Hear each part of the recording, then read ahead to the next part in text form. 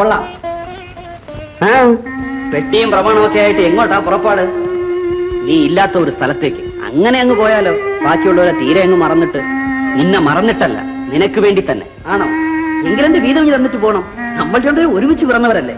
അത് തന്നെയാണ് എനിക്ക് പറ്റിയ ഗതികേട്. കഷ്ടകാലത്തിൽ ഈശ്വരൻ നമ്മെ രണ്ടുപേരെയും ഒരേ ആകൃതിയിൽ സൃഷ്ടിച്ചു പോയി. അതിപ്പോ എന്റെ കുറ്റമാണ്?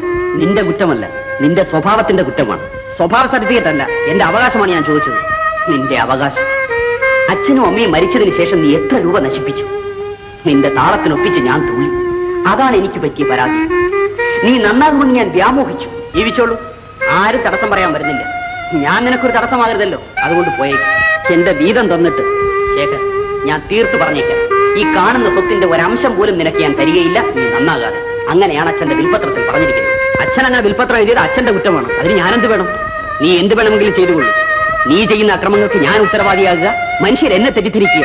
ഇനി അത് സാധ്യമല്ല നീയാ. സാധ്യമല്ല. ഇനി ഞാനിവിടെ താമസിച്ചാൽ നീ എന്നെ കഴിവിൽ കയറ്റും. സോമ തെറ്റിയും പെറ്റിയും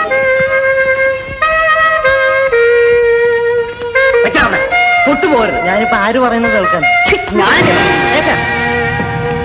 എന്തിനാടാ പാപത്തിന് തല്ലിയത്? നീ പോ സോമ. അതിലും ഭേദം എന്നെ തല്ലുന്നതല്ലേ?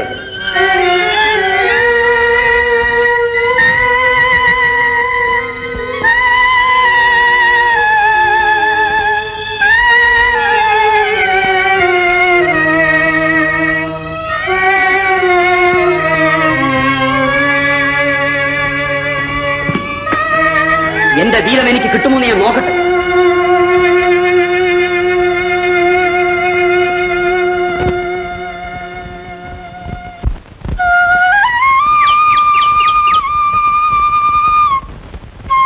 എന്തായി ശേഖർ. എടാ ബാസി ചേട്ടൻ വീതം തരാതെയാണ് പോണത്.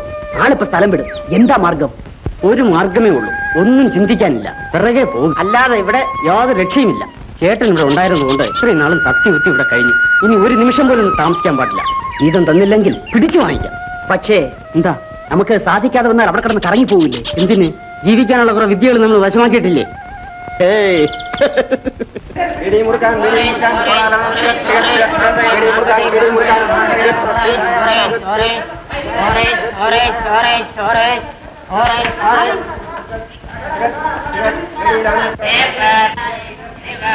എന്താ വില ബസ്സിന് മൂന്ന് രൂപ മൂന്ന് രൂപയോ അതെ നീ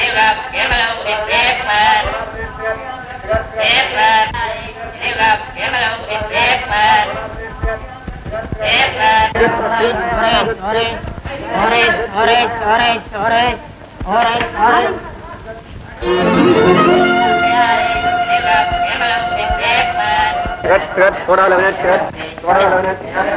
കേറിക്കാം ഞാൻ അപ്പുറത്ത് വെച്ചോളാം അരുതരുത്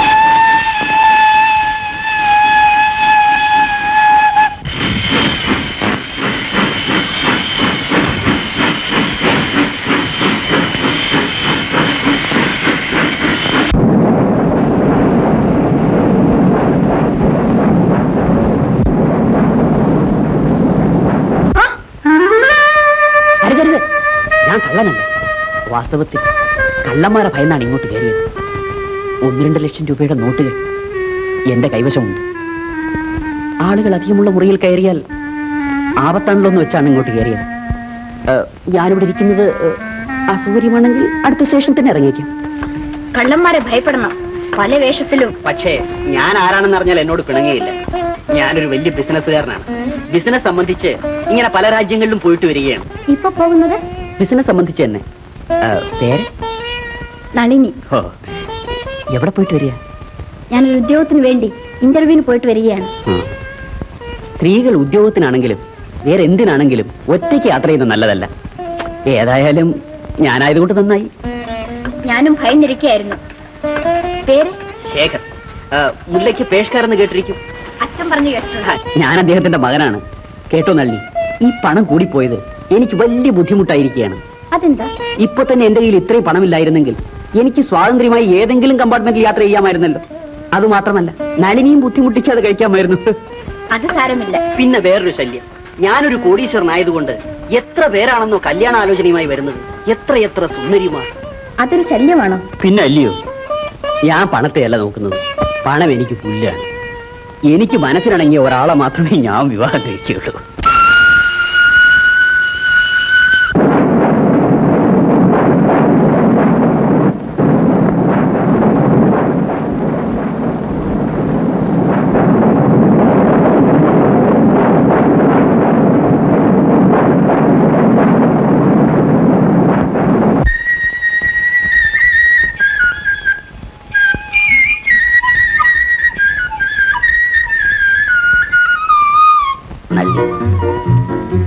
തമ്മിലുള്ള ഈ കൂടിക്കാഴ്ച അവിചാരിതമാണെങ്കിലും എന്റെ ജീവിതത്തിലെ ഒരു വലിയ സംഭവമായിരിക്കും എന്നുള്ളതാണ് എന്റെ വിശ്വാസം.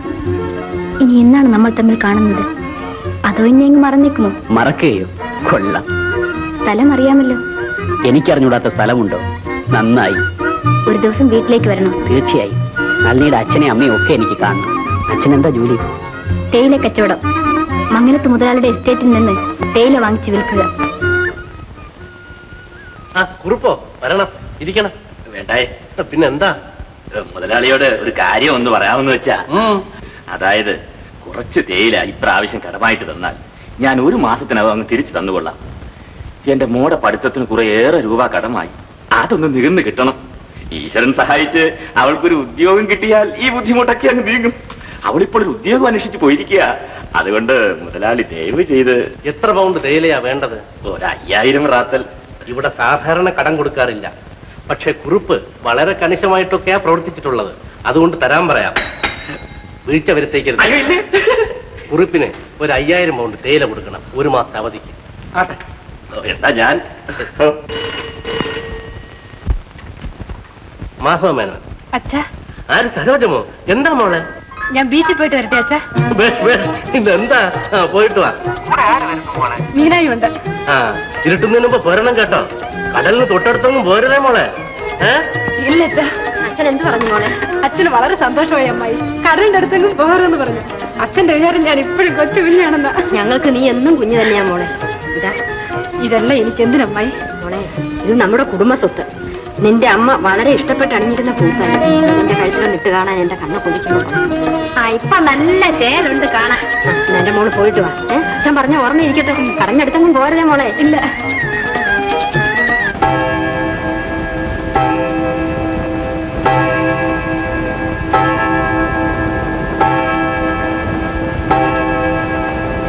ചേച്ചി സരോജം വരാറായില്ലേ ചേച്ചി? മണി ആറായില്ലേ ഉള്ളൂ. ഇപ്പൊ വരും. എന്ത് പറ്റി അവൾക്ക് ഇങ്ങനെ കടപ്പുറത്ത് പോകണമെന്ന് തോന്നാൻ. എന്ത് പറയാനാ? എന്റെ എത്ര നാളത്തെ ഗുണദോഷം കൊണ്ടാണെന്നോ പുറത്തേക്കൊക്കെ ഇറങ്ങാമെന്ന് സമ്മതിച്ചത് തന്നെ. ഇങ്ങനെയുണ്ടോ പെമ്പിള്ളേർ ഇക്കാലത്ത്? ആഭരണമെന്നോ ഡ്രസ്സെന്നോ ഒരു വിചാരവും ഇല്ല അവളുടെ അമ്മ മരിച്ചിട്ട് എത്ര മാസമായി? അതിൽ പിന്നെ അവളൊന്ന് ചിരിച്ചു പോലും ഞാൻ കണ്ടിട്ടില്ല. അവളാണ് ചേച്ചി എന്റെ സർവസ്വം. വാസ്തവത്തിൽ ഇന്നവൾ ബീച്ചിൽ പോണെന്ന് പറഞ്ഞപ്പോ എനിക്ക് എന്ത് സന്തോഷം തോന്നിയെന്നോ? അങ്ങനെയെങ്കിലും അവളുടെ മനസ്സിന്റെ വിഷമം നീങ്ങട്ടെ. പക്ഷെ അതുകൊണ്ടായില്ലല്ലോ. അവൾ എന്നും കുന്നും ഇങ്ങനെ നിന്നാ മതിയോ? പ്രായമായില്ലേ? അത് തന്നെയാണ് എന്റെയും ചിന്ത. അവൾക്ക് യോഗ്യനായ ഒരു വരനെ ഞാൻ അന്വേഷിച്ചുകൊണ്ടിരിക്കുകയാണ്. പക്ഷെ ഈ കാര്യം പറയുന്നത് തന്നെ അവൾക്ക് തീരെ ഇഷ്ടമല്ലല്ലോ. അതൊന്നും സാരമില്ല. ആഭരണമേ വേണ്ടെന്ന് ചാഠ്യം പിടിച്ചുകൊണ്ടിരുന്നവൾ ഇന്ന് അവളുടെ അമ്മയുടെ പൂത്താലിയും കെട്ടിക്കൊണ്ടാണ് പോയിരിക്കുന്നത്. അങ്ങ് പൊട്ടിപ്പോയതായിരിക്കും. പോയി നോക്കാമോ?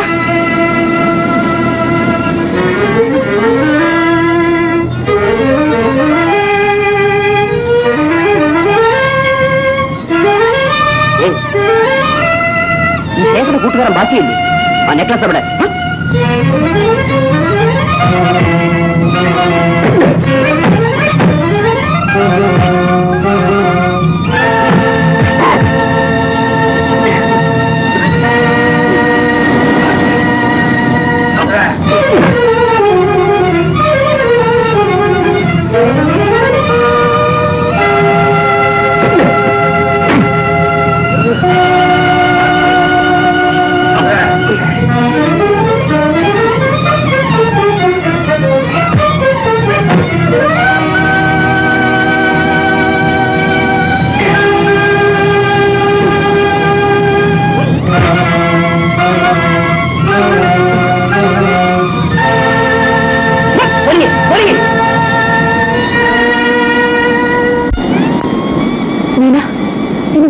കള്ളന്മാരും തട്ടിക്കൊണ്ട് പോയതായിരിക്കും. വീട്ടിലേക്ക് എങ്ങനെ ചെല്ലും? അച്ഛൻ എന്തു പറയുമോ വേറെന്ത് പോയാലും തിരക്കേടില്ലായിരുന്നു. എന്റെ അമ്മയുടെ മാല. ഇത് പറഞ്ഞു? ചേട്ടൻ കണ്ടെന്നു. അതെ. അത് പാപത്തായാലോ ബാക്കി. ഏതായാലും വളരെ സൂക്ഷിക്കണം. അത് അവരുടെ കാറല്ലേ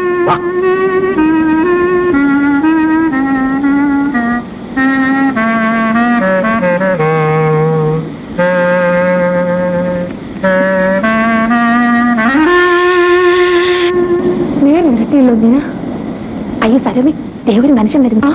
മാല കിട്ടിയതിനും തരക്കേടില്ല വീട്ടിലേക്ക് പോകാം ശരി വാ.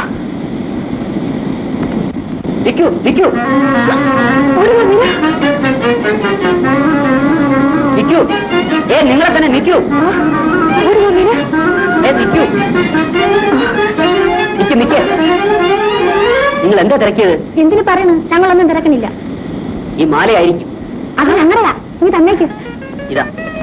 ഇത്ര വില കൂടി നെക്ലസും വെച്ചിട്ട് നടക്കുമ്പോൾ കുറെ കൂടി സൂക്ഷിക്കുന്നത് നന്നായിരിക്കും. വളരെ ഉപകാരം. ഇതെങ്ങനെ കിട്ടി? എങ്ങനെയെങ്കിലും ആട്ടെ സാധനം കിട്ടിയല്ലോ. നിങ്ങൾ? മംഗലത്ത് മാധവമേനെന്ന് കേട്ടിട്ടുണ്ടോ. അദ്ദേഹത്തിന്റെ മകൾ സരോജമ്മ. ഞാൻ മീന. നേരമായി പോകാം. അപ്പൊ ഞങ്ങൾ വരട്ടെ.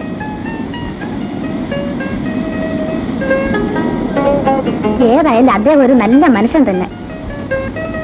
എന്തിനാ തരമേ എപ്പോഴും പിറകോട്ട് നോക്കുന്നത്? ഇനി വേറെ വല്ല നഷ്ടപ്പെട്ടോ? ഒന്നുമില്ല. നീ മിണ്ടാതെ വാ. അച്ഛൻ വഴക്ക് പറഞ്ഞത് തന്നെ. എങ്ങനെ പറ്റി? ചതിച്ചാ ദൈവമേ. ആ.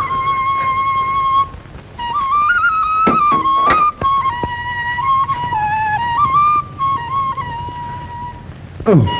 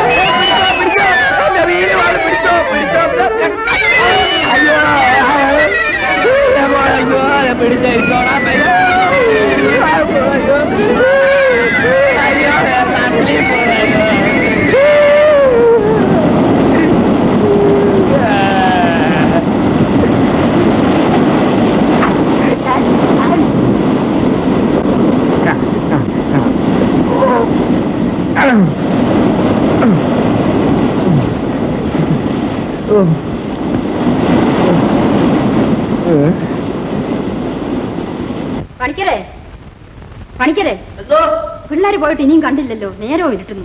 ഞാൻ പോയി ഇപ്പം കൂട്ടിക്കൊണ്ടുവരാം ജനമാരെ നോക്കി അങ്ങ് ഇരുന്ന് പോയാൽ വേഗമാട്ടെ ഓ.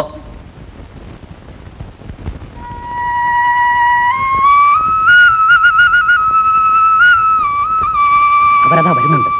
ഏതായാലും ഇന്ന് തന്നെ ആ മാല തട്ടിയെടുക്കും എന്ത് പറ്റി വേന്ദ്ര? വീൽ പഞ്ചറായി പോയി ഇപ്പോഴെങ്ങനെ ശരിയാവുമോ വേന്ദ്ര?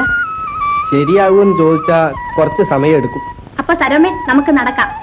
മൈലല്ലേ ഉള്ളൂ. ചിലപ്പോ വഴിക്ക് വെച്ച് ബസ് കിട്ടും. നിങ്ങളെ തനിച്ചയച്ച അങ്ങ് തന്നെ കൊല്ലും. കൊല്ലട്ടെ. അച്ഛനോട് ഞാൻ പറഞ്ഞോളാം. നീ വേഗം വന്നേക്കും. വാ മീന.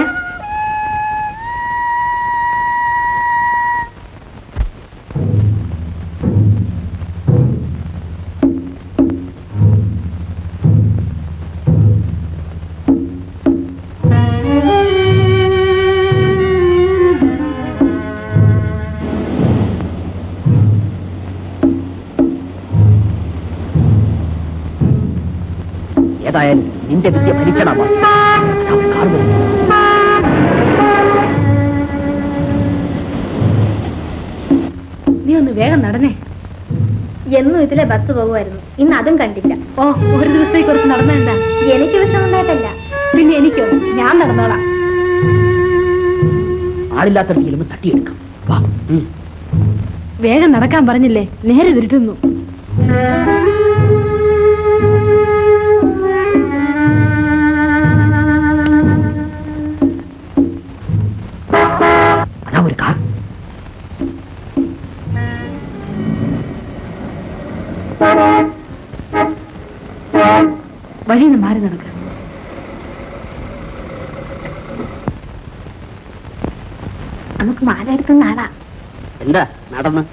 കാറില്ലേ? കാറിന് കേട് പറ്റി. ഓ ഞാൻ വഴി കണ്ട കാറായിരിക്കാം. വിരോധമില്ലെങ്കിൽ ഈ കാറി കയറാം. ഞാൻ വീട്ടിൽ കൊണ്ടിരുന്നാക്കാം വേണ്ട. എന്താ? ഞങ്ങൾ നടന്നോളാം.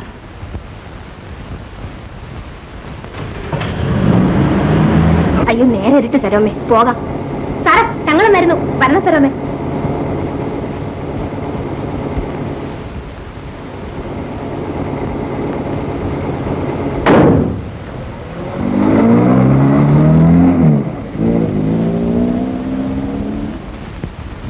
മാല കൈവശപ്പെടുത്തണമല്ലോ ശേഖർ? മാല മാത്രമല്ല അവളെ ഇതെനിക്കൊരു വാശിയാണ്.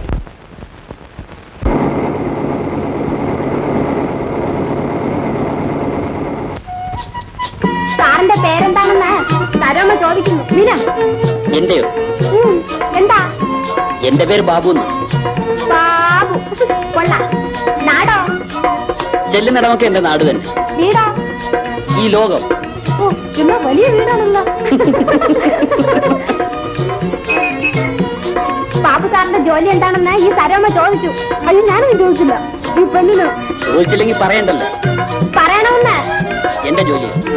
ജോലി ഇങ്ങനെ കടപ്പുറത്ത് പോവുക കാറ്റ് കൊള്ളുക വല്ലവരും മാല മോഷ്ടിച്ചാൽ പിടിച്ചു വാങ്ങി ഉടമസ്ഥ കൊടുക്കുക നല്ല ജോലിയാണല്ലോ. സാറിന് ഞങ്ങളുടെ സരോമയുടെ പേരറിയണ്ടേ? സരോജമ്മ. നിന്റെ നാക്കടങ്ങിയിരിക്കില്ല പിന്നെ എന്തിനാ എന്നോട് പറഞ്ഞ് ചോദിക്കാൻ? ഇല്ല ഞാൻ അങ്ങ് ചെല്ലിട്ട് നോക്കിക്കോ. ആ എന്നാ ഇനി ഞാൻ ചോദിക്കുന്നില്ല. സരോമ എന്നെ ചോദിക്കണം എന്തോന്ന് ചോദിക്കാൻ? എനിക്കറിയാമോ? സാർ എന്നും ഇങ്ങനെ കടപ്പുറത്ത് കാറ്റുവെള്ളം വരുമോന്ന്. നിങ്ങൾ കാറ്റുവെള്ളം കടപ്പുറത്ത് വരാറുണ്ടോ? ഇന്ന് ആദ്യമായിട്ടാണ്. അപ്പൊ മാല സൂക്ഷിക്കണം ഇനി പോകുമ്പോ. സാറുണ്ടെങ്കിൽ പിന്നെ. ആ നേരെ പോയാൽ മതിയല്ലോ. ഞങ്ങൾക്ക് വളഞ്ഞ വഴി ഒന്നും അറിഞ്ഞൂടാ.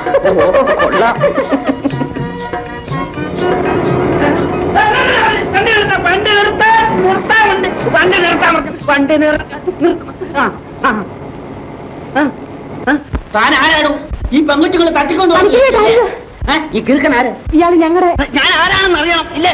അറിയിക്കാം. ഇങ്ങോട്ട് അങ്ങോട്ട് പണിക്കരിയേട്ടാ അയാൾ തെറ്റിദ്ധരിച്ചതാ. ക്ഷമിക്കണം. അങ്ങനെ ക്ഷമിക്കാൻ പറ്റും വേണ്ട. ഇതെന്താ വെള്ളരിക്കപ്പെട്ടനാണോ? ചേട്ടാ. എടി പെണ്ണെ നിങ്ങൾ എന്തിനീ കാർ കയറി? വല്ലൊരു ഒരു കാർ കൊണ്ടു വിളിച്ചാൽ കാർ കയറും ഇല്ലേ? നീ വേണം കയറിക്കോ. ആ ഈ കൊച്ചിനെ ഇതിന് പിടിച്ചു കയറ്റി. വേന്ദ്രൻ അവിടെ. അവൻ ഇന്ന് ഞാൻ സൂപ്പാക്കും. ഇയാൾ എന്താ ഈ പറയുന്നത്? ഒന്നും മിണ്ടാതിരിക്കോ. അദ്ദേഹം നമുക്കൊരു ഉപകാരം ചെയ്തതാ നമ്മുടെ കാറിന് കേടുപറ്റി ഇന്ന് നേരത്തെ പറയട്ടെ കുഞ്ഞെ. ഇതാരറിഞ്ഞു ഇയാളെ കൂടെ ഈ കാറിൽ ഞങ്ങളുടെ കാര്യസ്ഥനാ. കാര്യസ്ഥൻ. ഇത്ര വിവരമുള്ള കാര്യസ്ഥനുണ്ടെങ്കിൽ കൊള്ളാം. കേറിക്കോ.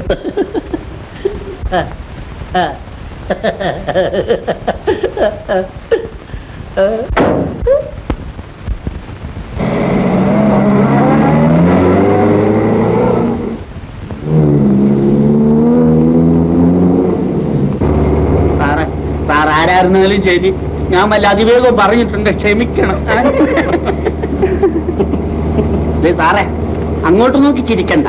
ചിരിക്കണമെങ്കിൽ എന്നെ നോക്കി ഇഷ്ടം പോലെ ചിരിച്ചു. ദേ, അതാണ് അതിന്റെ ശരി. ആ പണിക്കിന് പോയിട്ടും കാണുന്നില്ലല്ലോ. എന്തു പറ്റി? നീ ഇങ്ങനെ വെപ്രാളപ്പെട്ടാലോ? അവർ കൊച്ചു കുഞ്ഞുങ്ങളോ മറ്റോ ആണോ ഒരാഞ്ഞിട്ടാ വേന്ദ്രനും ഉണ്ടല്ലോ കൂടെ. ആ അതാ അവർ വന്നു കഴിഞ്ഞല്ലോ.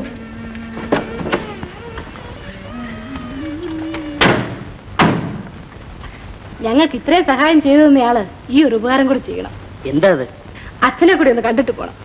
ക്ഷമിക്കണം. എനിക്ക് പോകാൻ കുറെ ധൃതിയുണ്ട്. ഞാൻ പിന്നെ വന്ന് കണ്ടുകൊള്ളാം. ശരി. എന്നോട് പിണക്കൊന്നും തോന്നല്ലേ? എന്തിന്? അല്ല മുമ്പേ കാറ് തടഞ്ഞു നിർത്തിയതിന്. ഓ അതൊന്നും സാരമില്ല പണിക്കരെ. ഓ. എന്താ മോളെ ഇത്ര താമസിച്ചത്? എന്താടി? വാ ഞങ്ങൾ പേടിച്ചിരിക്കുകയായിരുന്നു എന്റെ മോളെ. എന്റെ അമ്മായി എന്റെ നെക്ലേസ് ഇന്നൊരുത്തും തട്ടിക്കൊണ്ടുപോയി പോയി. നെക്ലേസോ ആര്? പിന്നെ എങ്ങനെ തിരിച്ചു കിട്ടി? ഞങ്ങളെ കാറിൽ കൊണ്ടുവന്ന് വിട്ടയാൾ കണ്ടുപിടിച്ച് വാങ്ങിച്ചു തന്നു. ആരാ അത്? വരുന്നേ. എടാ നമ്മുടെ ശേഖർ ഇവിടെ കണ്ടുണ്ടെന്നാ തോന്നുന്നു. ഇവിടെയും വന്നു. സാറ് കണ്ടോ? ഞാൻ കണ്ടില്ല. പക്ഷെ അവൻ ഈ ടൗണിൽ എവിടെയോ ഉണ്ട്. ചേട്ടാ ഇത് പടമടിച്ച് പന്തളത്ത് പോയ കണക്കായല്ലോ സാറേ. ഏതായാലും നീ ഒന്ന് അന്വേഷിക്കണം. കണ്ടാൽ എന്നെ അറിയിക്കണം. അതിനെന്താ ഇപ്പൊ തന്നെ ഞാൻ പോകാം? വേണ്ട. നാളെ പോയാ മതി. ഓ. എന്റെ കൊച്ചമ്മേ എന്തൊരു നല്ല മനുഷ്യൻ. അയ്യോ അത് ആരാണെന്ന് അറിഞ്ഞൂടെ ആരാണോ എന്തോ? എന്നാ പിന്നെ അയാൾ ഇങ്ങോട്ട് കൊണ്ടുവരാത്തുണ്ട് മോളെ? ഞാൻ വിളിച്ചു നനച്ച ധൃതി ഉണ്ടെന്നും പറഞ്ഞോണ്ട് പോയി. അങ്ങനെ ഞാൻ പല ചെറുപ്പക്കാരെയും കണ്ടിട്ടുണ്ട്. എന്നാ ഇത്ര നല്ലൊരു കൊച്ചനെ എന്റെ ആയുസിൽ കണ്ടിട്ടില്ല. ഈ പണിക്കിരേട്ടൻ തല്ലാൻ തുടങ്ങിയതാ. നീ പൊടി പണി. തെക്കേ തലയ്ക്കലെ തൃത്താരി പുകളേ വാനരനായ കമാരനൊടുക്കിനാർ നളിനി നീ എവിടെ പോന്നു മോളെ? കലാപരിപാടിക്ക്. അതെന്തോന്ന് കലാപരിപാടി അച്ഛൻ അതൊന്നും അറിയാൻ മേല. അതെന്നും ഉണ്ടോ? ഇങ്ങനെ എന്താന്നായി പറയുന്നേ? അവളൊരു നല്ല കാര്യത്തിന് പോകുമ്പോ ചെന്നോളും തടസ്സം പിടിക്കാൻ. വേഗം ചെല്ലുമോളെ രാത്രി പെൺപിള്ളാരെ ഇങ്ങനെ തനിച്ച് അതിനാ വിദ്യാഭ്യാസം പഠിച്ചത്. നിങ്ങൾക്കറിയാമോ? പക്ഷേ അതത്ര നല്ലതാണെന്ന് എനിക്ക് തോന്നുന്നു. ചെറുപ്പത്തിലേ അച്ഛനും അമ്മയും മക്കളെ വിദ്യാഭ്യാസം പഠിപ്പിക്കണം. എന്നാലേ പരിഷ്കാരം ഉണ്ടാകത്തുള്ളൂ. അല്ലെങ്കിൽ ഇങ്ങനെ മലമൂടനെ പോലെ ഇരിക്കും. മോൾ പോയി ഭയങ്കര ഇങ്ങനൊക്കെ പറയും. നളിനി. കണ്ടോ? ഒരു വഴിക്ക് പോകുമ്പോ പുറകെ വിളിക്കുക. ഇത്രയും പ്രായമായിട്ട് ഈ മനുഷ്യന് ബോധം തിരിച്ചറിവ് ഉണ്ടാകാത്തതാണ് അതിശയം. അവൾ ഇങ്ങനെയൊക്കെ ഇറങ്ങി നടന്നെങ്കിലേ വല്ല ഉദ്യോഗം കിട്ടത്തുള്ളൂ. അത് തന്നെയല്ല ഇങ്ങനൊരു പെങ്കൊച്ചുണ്ടെന്നുള്ളത് ലോകരറിയാതെ വല്ലൊരു സംബന്ധാലോചനയ്ക്ക് വരുമോ ഇതൊന്നും അറിയാതെ ചുമ്മാ തറവാട്ട് മഹിമയും പറഞ്ഞുകൊണ്ടിരുന്നു. ആ എന്താ ഒന്നും മിണ്ടാത്തത്? തേയില കച്ചവടം ചെയ്ത് കാശുണ്ടാക്കുന്ന പോലെ അല്ലെന്ന് പെൺപിള്ളേർക്ക് ഉദ്യോഗം കിട്ടുന്നത്. എങ്കിലും അവളെ രാത്രിയിൽ ഒറ്റയ്ക്ക് ഇങ്ങനെ പുറത്തേക്ക് വിടുന്നത് ശരിയല്ല. പാടുത്തമുള്ള പെൺപിള്ളേർക്ക് അങ്ങനെ പോകാമെന്ന്. നടക്കട്ടെ. സച്ചിദാനന്ദ ഈ മനുഷ്യൻ ഇങ്ങനെ ഒരു മൂരാച്ചി ആയി പോയല്ലോ തത്തേ വരി കരി കത്തിരി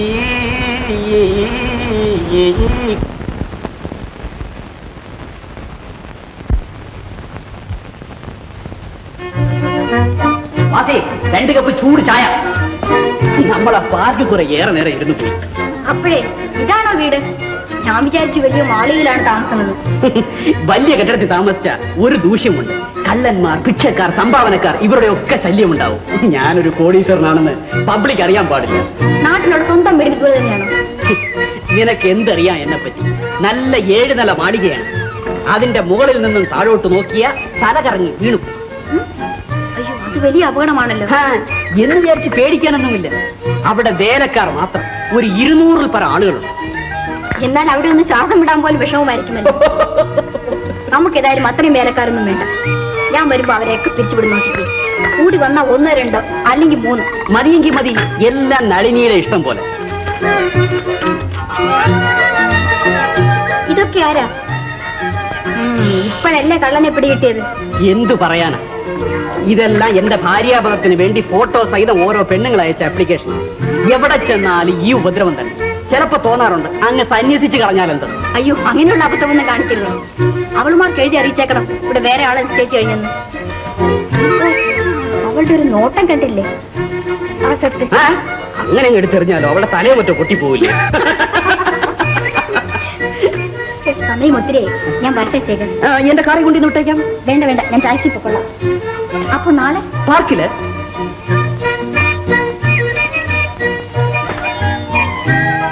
ബാസി ചേട്ടന്റെ താമസം എവിടെയാണെന്ന് കണ്ടുപിടിച്ചോ? ഞാൻ തിരക്കിട്ട് ഒരു പിടിയും കിട്ടിയില്ല. നാളെയും നോക്കട്ടെ. പണച്ചെലവിന് ഭയന്ന് മൂപ്പര് വല്ല ഹോട്ടലിലും ആയിരിക്കും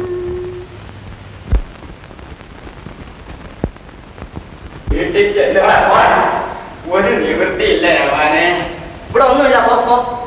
കഞ്ഞീരെ വെള്ളം കുടിച്ചിട്ട് ഇന്ന് രണ്ടായി. ഇതെന്തൊരു ശല്യപ്പെടാ വല്ലതും തരണേ. വല്ല അനാഥാമന്ദിരത്തിലും ചെല്ലേ. പോ പോ. അയ്യോ. വല്ലതും തരണേ. ശരി സംഭവിക്കോളൂ നിങ്ങൾ ഡാൻസ് കാണാൻ വരുന്നില്ലേ? ഞാനില്ല. ഓ മൂപ്പർക്ക് അതിലൊന്നും അത്ര കമ്പമില്ല. ഇത് തന്നെയല്ലേ മംഗലത്ത് മാധവമേനയുടെ ഭവനം? അതെ. ഓഹോ നീ ഇവിടുത്തെ ഡ്രൈവറാണല്ലേ പേര്? വേണ്ട അമ്പടാ. കടിച്ച വിഷമടങ്ങാത്ത ജാതിയാണല്ലോ എങ്ങനെ കിട്ടിയാ നിനക്ക് ഈ പേര്? എന്റെ അച്ഛന്റെ പേര് വേലായി. എന്റെ പേര് ഹരിചന്ദ്രൻ. അച്ഛന്റെ പേരിന്റെ ആദ്യവും എന്റെ പേരിന്റെ അവസാനവും ചേർന്നതാണ് ഈ വേണ്ട എടാ നീ ഒരു കവിയാണല്ലോ. എന്നാൽ ഞാനും കവിയാണ്. ഇരിക്കട്ടെ. ഞാനൊരു കാര്യം ചോദിച്ചാൽ നേര് പറയാമോ? മേനോൻ പുനർവിവാഹം ചെയ്യാൻ പോകുന്നതായി കേട്ടു. ഇഷ്ടമാണോ ആ എന്നൊക്കെ കേട്ടു. മേനോന് എമ്പടി സ്വത്തുണ്ടല്ലോ മൊത്തം എത്ര ഏക്കർ വരും?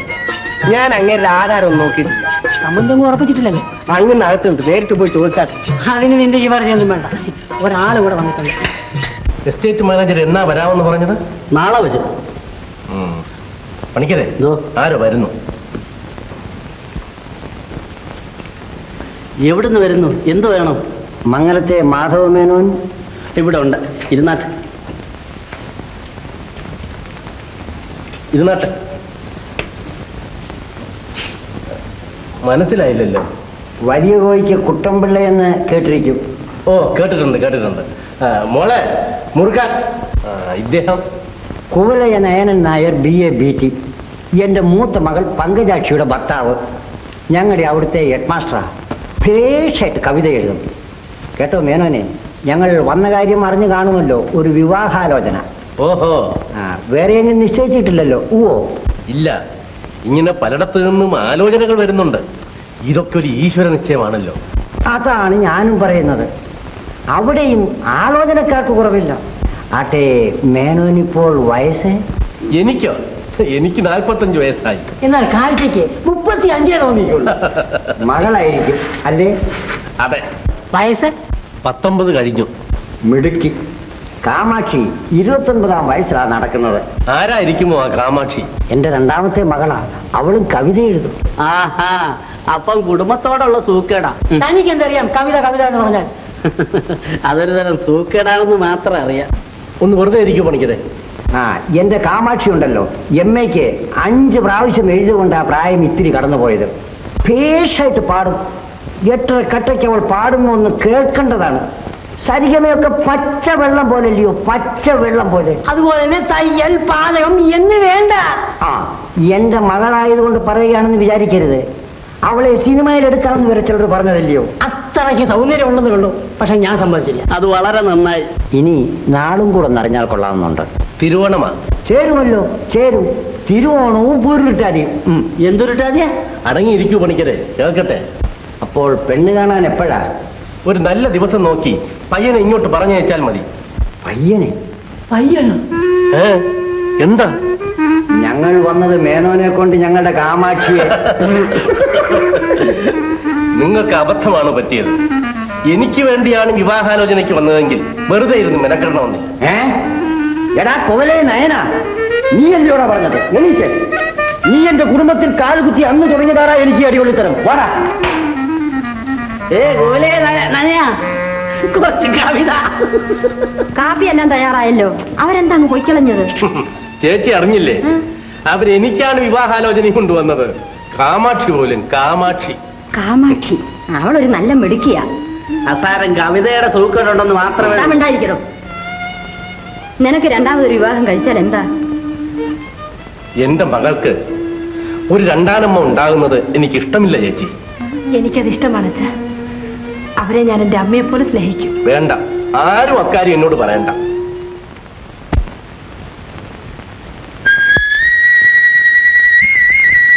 കരുണ് ഇന്നലത്തെ മനുഷ്യൻ അവന് നമുക്കെന്താ? നീ സ്ഥലമേ നമുക്ക് അങ്ങോട്ട് പോകാം. വേണ്ടാടി. എന്തിനാ ഈ വിദ്യയൊക്കെ? അതിനെ പോകാന്ന് പറഞ്ഞ് എന്നെ വിളിച്ച് ഇതിലൂടെ കൊണ്ടുവന്നിട്ട് ചുമ്മാ വന്നാട്ടെ. ആഹാ ഇത് ഇന്നലത്തെ മീനയല്ലയോ? അല്ല ഇന്നത്തെ മീനയാ. ഇരുന്നട്ടെ.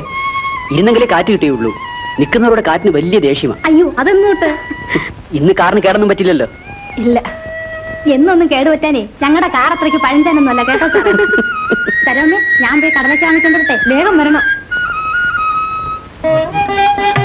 അല്ല ഇന്ന് പൂത്താലി കിട്ടാൻ മറന്നുപോയോ? അതോ കള്ളന്മാരെ പേടിച്ചോ? പേടിക്കേണ്ടവരെ പേടിക്കാതിരിക്കാൻ ഒക്കോ പൂത്താലി കെട്ടിക്കൊണ്ട് നടന്ന കള്ളന്മാർക്ക് ബുദ്ധിമുട്ട്. പിന്നെ അത് കണ്ടുപിടിച്ച് തിരികെ വാങ്ങിത്തരാൻ മറ്റുള്ളവർക്കൊരു ബുദ്ധിമുട്ട്. എന്തിനു വെറുതെ?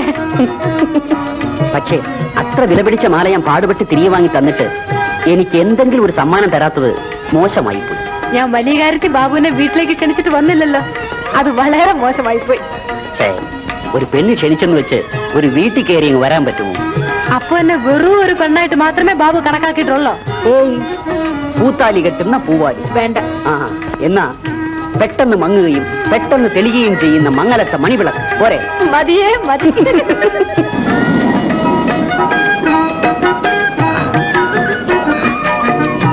വാ ഇരി എനിക്കിപ്പം വയ്യ. അപ്പൊ ഞാൻ തന്നെ പറയട്ടെ?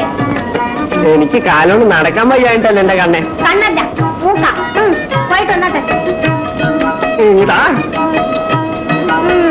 നിനക്ക് ഇത്ര സ്നേഹമില്ലല്ലോടി നടക്കാൻ വയ്യാന്ന് പറഞ്ഞു വേഗം വരണം കേട്ടാ. ഇല്ലെങ്കിൽ തരമ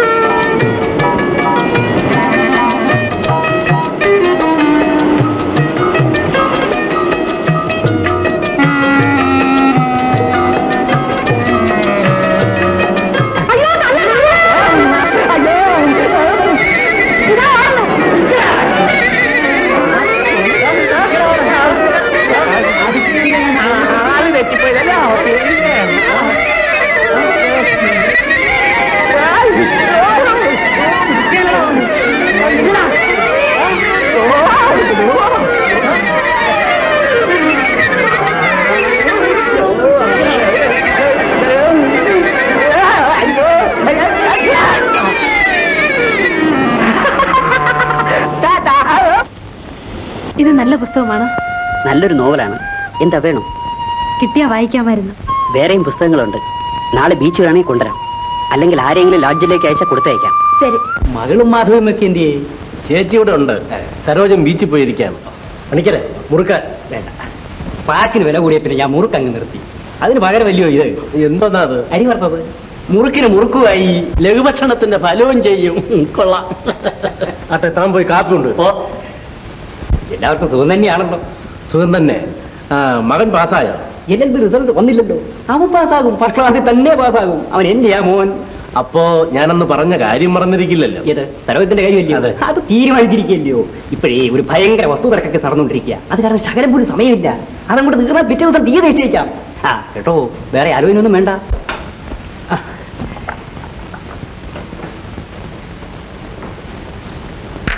കാപ്പിക്ക് ഇത്രയും മധുരം ഇടരുത്. വെറും അനാവശ്യ ചെലവ്.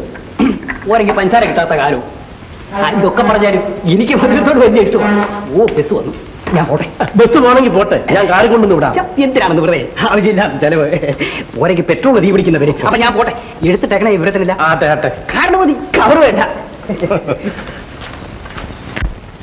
ഈ തന്റെ പോലെ തന്നെ മകനും ആണെങ്കിൽ ബേഷായി. ചേച്ചെ അവൻ നല്ലവനാണെന്നാ കേട്ടിട്ടുള്ളത്. ഓ. പിശുക്കനല്ല ഏതായാലും താൻ പോയി ഒന്ന് അന്വേഷിക്കണം കേട്ടോ. Thank you.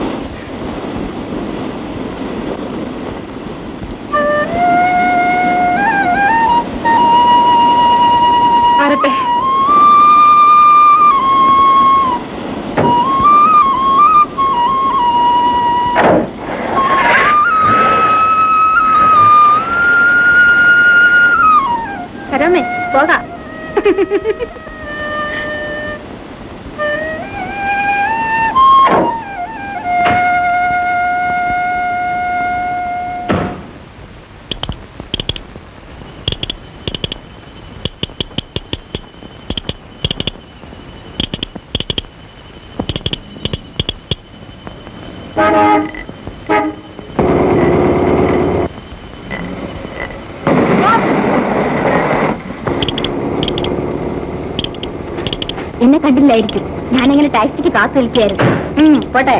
എവിടെ പോവാനാ? ആകാശത്തിൽ കളിയാക്കണ്ട കേട്ടോ. കാറ് വിടണം. അത്രയും തന്നെ കണ്ട വഴക്ക് പറയും.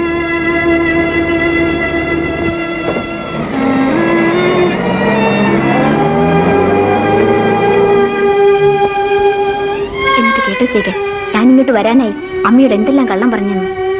എന്താ ഒന്നും മിണ്ടാത്തത്? ഓ ഒരു ഗൗരവ പുരുഷൻ. കാർ ഓടിക്കുമ്പോ മിണ്ടാൻ പാടില്ലായിരിക്കും. ഈ മാല കണ്ടോ? ഒരു പഴഞ്ച ഫാഷനാ. ഇതൊന്ന് മാറി എനിക്ക് നല്ല മാല മേടിച്ചു തരണം. അച്ഛനാണെങ്കിൽ ഇപ്പോഴത്തെ പരിഷ്കാരം ഒന്നും അറിഞ്ഞൂടെ. എന്താ ശേഖർ നാളെ നമുക്കൊന്ന് വീട്ടിലേക്ക് പോകണം അച്ഛനും അമ്മയ്ക്കും വലിയ സന്തോഷമായിരിക്കും.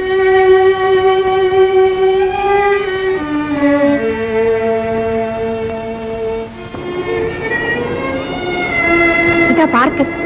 മറന്നുപോയോ? വണ്ടി നിർത്തണം. വരണം. നമുക്ക് അവിടെ ചെന്നിരിക്കാം.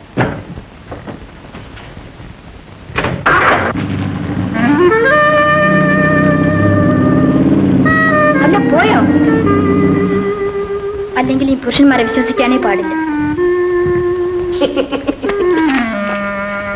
മായ മനുഷ്യനോ? ഇതേതിലേ വന്നു? വേണ്ട. എന്നോടൊന്നും മിണ്ടാൻ പോലും വലിയ അംഗസായിരുന്നല്ലോ അതിനി കഥകളെല്ലാം പറയാം. വരും.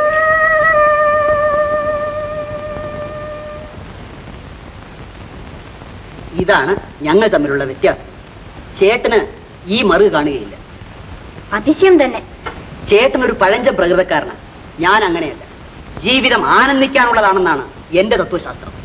അമ്പേ ഭയങ്കര തത്വജ്ഞാനി തന്നെ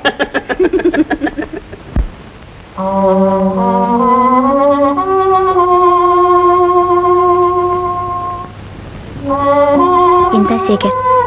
നാളെ നമുക്കൊന്ന് വീട്ടിലേക്ക് പോകണം അച്ഛനും അമ്മയ്ക്കും വലിയ സന്തോഷമായിരിക്കും. സോമ? സോമ? എന്തോ? സാർ ഇതുവരെ ഉറങ്ങിയില്ല? നേരം വെളുക്കാറായല്ലോ. എടാ ശേഖർ ഇതേവരെ സ്ഥലം വിട്ടില്ലെന്നാണല്ലോ തോന്നുന്നത്. ഞാൻ ഈ പട്ടണമായ പട്ടണം എല്ലാം തിരക്കി. കണ്ടില്ല. അവൻ ഇവിടെ തന്നെ ഉണ്ടെന്നാണ് എന്റെ വിശ്വാസം. ഇനി ഏതായാലും നേരം വെളുക്കട്ടെ. സാർ കിടന്നുറങ്ങണം. ശരി നീ പോയിക്കോ.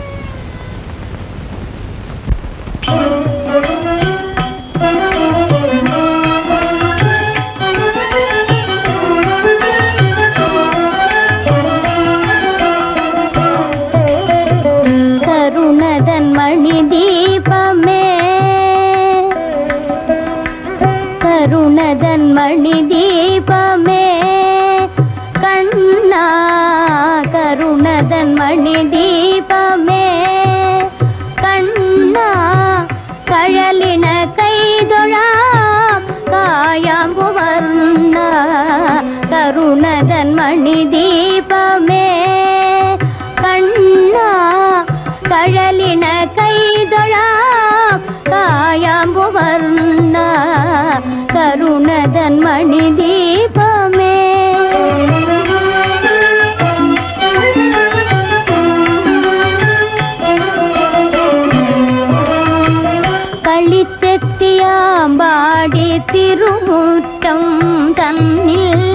കനകപൂഞ്ചിലമ്പോച്ച അണിയിച്ചു മണ്ണിൽ കളിച്ചെത്തിയാമ്പാടി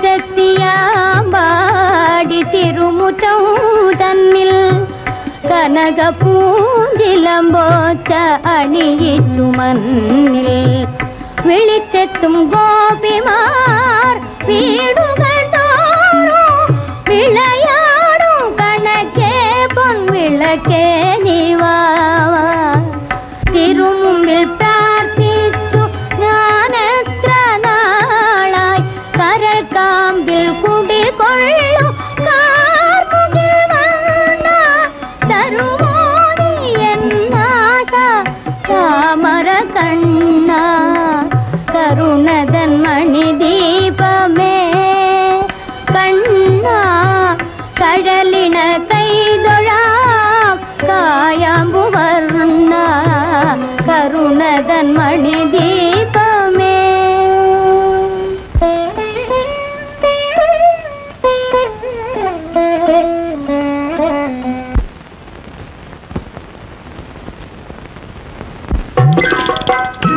എവിടെ പോയി. പെണ്ണാ.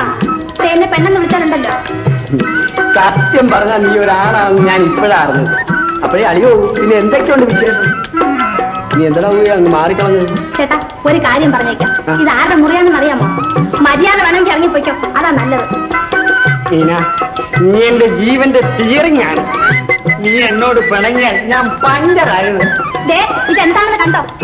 എന്നെ ഇങ്ങനെ അങ്ങ് കണ്ടം ചെയ്യരുത് കേട്ടോ. എന്റെ പൊന്നു ചേട്ടാ ഇവിടെ നിന്ന് പോകാമോ?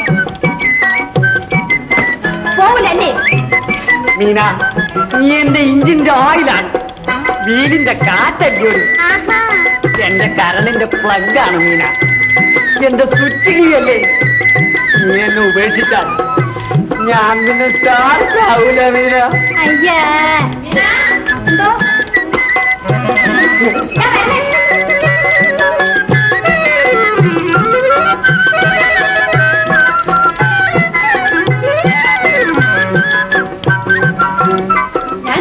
അമ്പലത്തിൽ പോവാ. നീ വരുന്നില്ലേ മീന? നീ എന്താ ഇങ്ങനെ മുടിച്ചു നിൽക്കുന്നേ ഒന്നുമില്ല വെച്ചമ്മ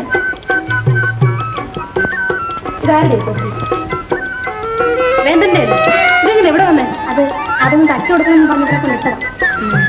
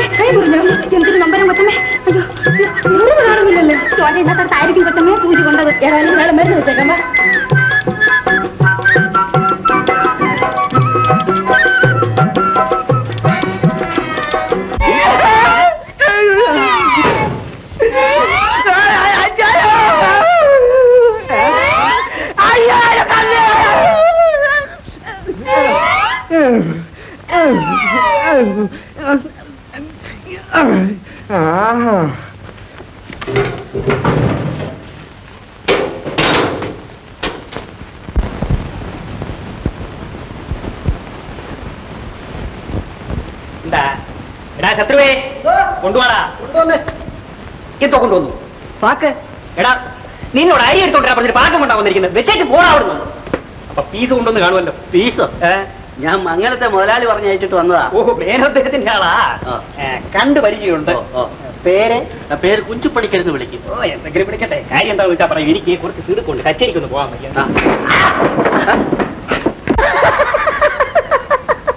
എന്താ നാടാ ഇത്?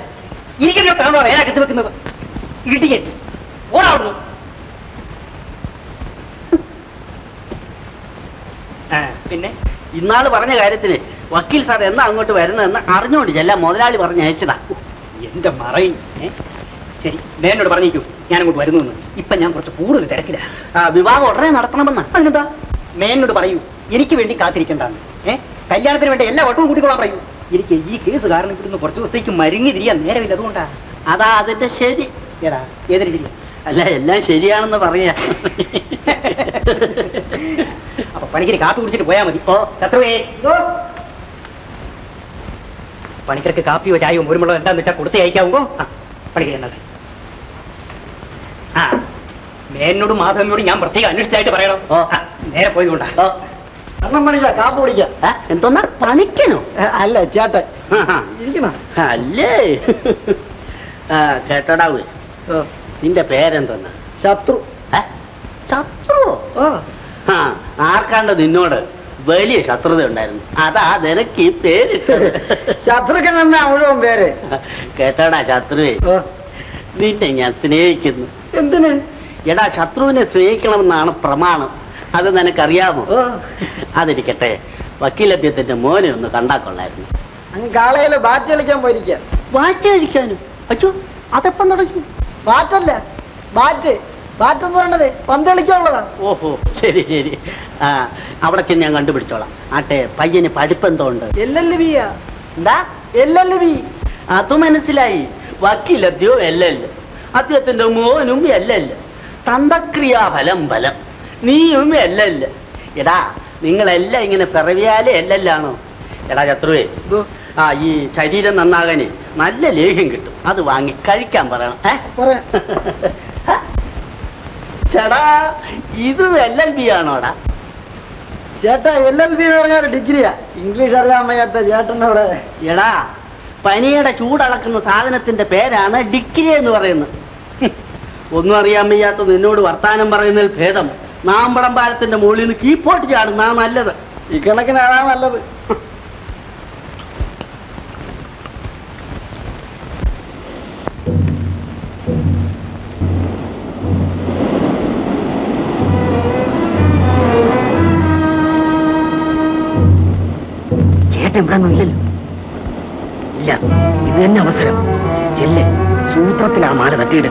തട്ടിയെടുക്കണം നമ്മൾ ബാബുവാണെന്ന്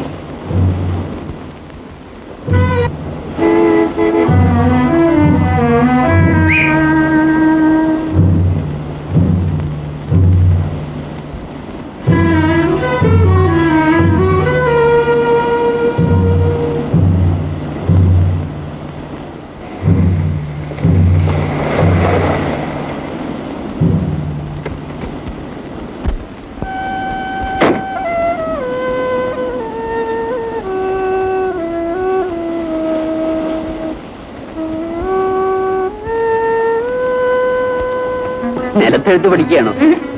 കണക്ക് കൂട്ടുക എന്തോന്ന് കണക്ക്? ഞാനിവിടെ കാത്തിരുന്ന സമയത്തില്ല ക്ഷമിക്കണം. ഇന്ന് എനിക്ക് ആദായകരമായ ഒരു ബിസിനസ് അതുകൊണ്ടാണ് താമസം. ആദായകരമാണെങ്കിൽ കൊള്ളാം. ക്ഷമിച്ചിരിക്കുന്നു. ഇതാ ചാക്ലേറ്റ് എന്താ? താമസത്തിന് പൈന ആ? മീന വന്നില്ല.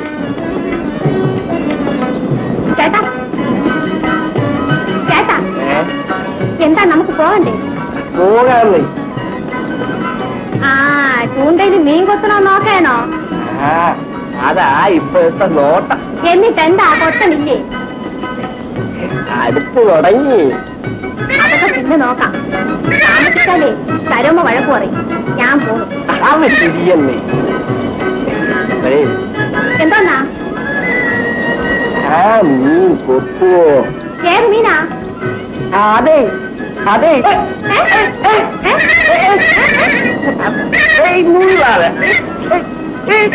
ഞാനോ? പിന്നല്ല ആരാ എന്നെ മുന്നേ ഞാനെന്നുള്ളൂ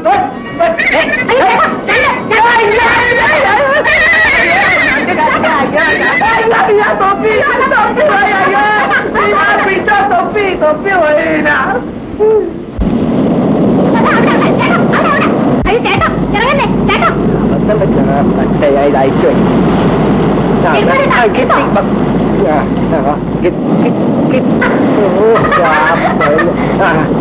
ഛെ, എടുക്ക് ചേട്ടാ. നേരെ കണ്ടില്ലേ അയച്ചോട്ടെ മനസ്സിലായി ഇത് എടുത്തില്ലെങ്കിൽ ഞാൻ വേന്ദ്രനല്ല വേന്ദ്രൻ ഇപ്പൊ കാണിച്ചേ ഇപ്പൊ കാണിച്ചാ അയ്യോ, ചേട്ടാ. അയ്യോ, ചേട്ടാ, ഇറങ്ങല്ലേ, ഇറങ്ങല്ലേ. എവിടെ ദേ, അവിടെ, അവിടെ നിന്ന്. നോക്കട്ടെ എവിടെ ദേ, അവിടെ, അവിടെ, ചേട്ടാ, അവിടെ, ദേ, അവിടെ, അവിടെ. കിട്ടിപ്പോയി കിട്ടിപ്പോയി കിട്ടിപ്പോയി അയ്യോ, അയ്യോ, ചേട്ടാ. ആ പിന്നെ അത് കളാ വേണ്ട ചേട്ടാ, ഇങ്ങ് പോരെ. പിന്നെ അയ്യോ, ചേട്ടാ, പോട്ട്. ചേട്ടാ, പോട്ട്, പോട്ട്.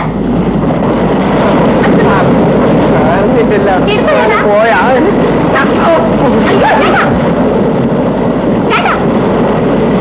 അയ്യോ, ചേട്ടാ, പോട്ട് പോയി. അയ്യോ. ചേട്ടാ. എവിടെ വരേട്ടാ. ചുമ്മാ നോക്കി എടുക്കട്ടെ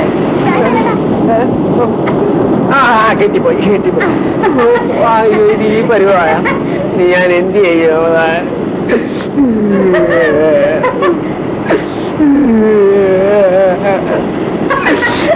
അയ്യോ അത് കൊണ്ടുപോയാ.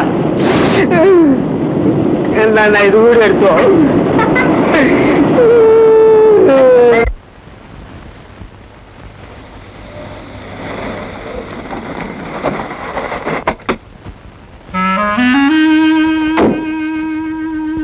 ശേഖര. എന്താ? നീ എവിടെ പോകുന്നു? എനിക്കിവിടെ ഒരാളെ കാണാനുണ്ട്. നിനക്ക് കാണേണ്ടത് ആരെയാണെന്ന് എനിക്കറിയാം. വാ.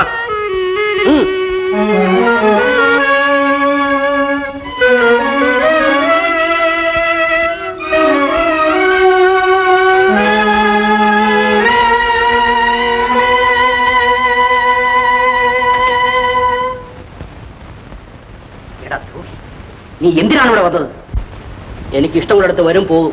അതിനെന്താ എത്ര ചോദിക്കാൻ? സ്വാതന്ത്ര്യം മനുഷ്യന്റെ മൗലികാവകാശമാണ് ചേട്ടാ. ഒരു മൗലികാവകാശക്കാരൻ വീട്ടിലുണ്ടായിരുന്ന പണമെല്ലാം നശിപ്പിച്ച് പഠിത്തവും മുടിപ്പിച്ച് വളരെ പാടുപെട്ട് ഞാൻ ഏർപ്പെടുത്തി തന്ന ഉദ്യോഗവും കളഞ്ഞു കുളിച്ചിട്ട് തറവാടിന്റെ അന്തസ്സും ഐശ്വര്യവും കെടുത്തി അന്തസ് രക്ഷിക്കാൻ ചേട്ടനുണ്ടല്ലോ അത് മതി. നീ എന്തിനാടാ എന്നെ കൂടെ നശിപ്പിക്കാൻ വന്നിരിക്കുന്നത്? നിനക്ക് ഞാൻ എന്ത് ദ്രോഹം ചെയ്യും ഞാൻ ചേട്ടന്റെ എന്ത് നശിപ്പിച്ചു എന്നാണ് ഈ പറയുന്നത്? ഒന്നും നശിപ്പിച്ചില്ല. നിനക്ക് മാനമുണ്ട് മര്യാദയുണ്ട് കൂടപ്പുറപ്പ് സ്നേഹമുണ്ട്. അതൊക്കെ ചേട്ടൻ തന്നെ പാലിച്ചോണ്ടാ മതി. ഇത്ര കൂടപ്പിറപ്പ് സ്നേഹമുള്ള ആളായിട്ട് എന്തുകൊണ്ട് എന്റെ അച്ഛന്റെ സ്വത്തിൽ വീതം എനിക്ക് തരുന്നില്ല? നിനക്ക് തന്നതൊക്കെ എവിടെയെന്നാണ് ഞാൻ ചോദിക്കുന്നത്? തന്നതിന്റെ കാര്യമല്ല തരാനുള്ളതിന്റെ കാര്യമാണ് ഞാൻ ചോദിച്ചത്. എന്റെ വീതം എനിക്ക് കിട്ടണം. അതും കൂട്ടുകൂടി കുടിച്ച് നശിപ്പിക്കാമെന്നോ? സാധ്യമല്ല നീയാ സാധ്യമല്ല. നീ എന്ന് നല്ലവനാകുന്നോ അന്ന് മാത്രമേ നിനക്ക് ഞാൻ ആ സ്വത്ത് തരൂ. അല്ലാതെ തന്നെ വാങ്ങിക്കാമോ ഞാൻ നോക്കട്ടെ. നിന്റെ ഒരുത്തന്റെ ശല്യം സഹിക്കവയാണ് ഞാൻ ഇങ്ങോട്ട് പോകുന്നത്. ഇവിടെയും കിടത്തി പൊറപ്പിക്കുകയില്ലെന്ന് വന്നാൽ? എടാ ഇങ്ങനെ ഒരു അനിയൻ ഉണ്ടെന്ന് പറയാൻ പോലും വാസ്തവത്തിൽ എനിക്ക് ഭയമായിരിക്കും ഹോ, ഇത്ര ഭയമുള്ള ഒരാൾ. ശേഖര ദേ ഇങ്ങോട്ട് നോക്ക്. നിനക്ക് ഇത്ര കണ്ണി ചോരയില്ലാതായല്ലോ ഞാൻ അറിയാണ്ട് ചോദിക്കുകയാണ്. നീ ഒരിക്കലും നന്നാകില്ലെന്ന് വ്രതമെടുത്തിരിക്കുകയാണ്. എന്താ പോക്കറ്റ് അടിച്ചു ചൂത് കളിച്ചു കള്ളു കുടിച്ചു പെണ്ണുങ്ങളുടെ മാല മോഷ്ടിച്ചു. മാല മോഷ്ടിച്ചാൽ തന്നെ ചേട്ടനുണ്ടല്ലോ. അത് തിരികെ വാങ്ങിക്കൊടുക്കാൻ നിനക്ക് നാണമില്ലാത്തതാണ് അതിശയം. എനിക്ക് നാണമില്ല. അതിനെന്ത് വേണം? അതിനെന്ത് വേണമെന്നോ? നീ എന്ത് പറഞ്ഞടാ?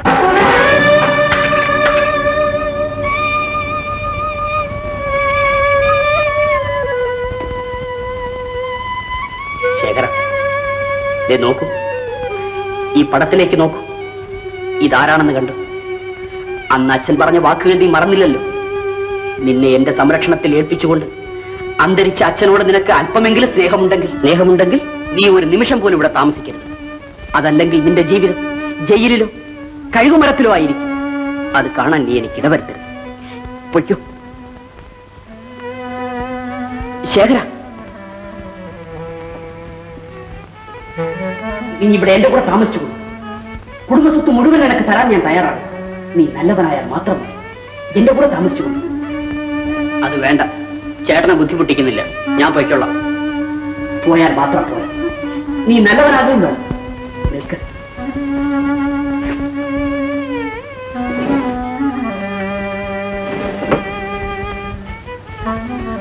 ഇതാ. ജീവിക്കാനുള്ള വക ഇന്നും വീട്ടിലുണ്ട്. അഥവാ എന്തെങ്കിലും പോരാതെ വന്നാൽ എന്നെ അറിയിക്കും. ഞാൻ പണം അയച്ചു തരാം ശേഖര എത്ര നാളായി ഇനിയാ നമ്മൾ ഒന്നിച്ചിരുന്നു കൊണ്ടിട്ട് വരൂ നാളെ പോയാ മതി. എനിക്ക് വിശക്കുന്നില്ല ചേട്ടാ ഞാൻ അടുത്ത ട്രെയിനിൽ തന്നെ നാട്ടിലേക്ക് പോവുകയാണ്.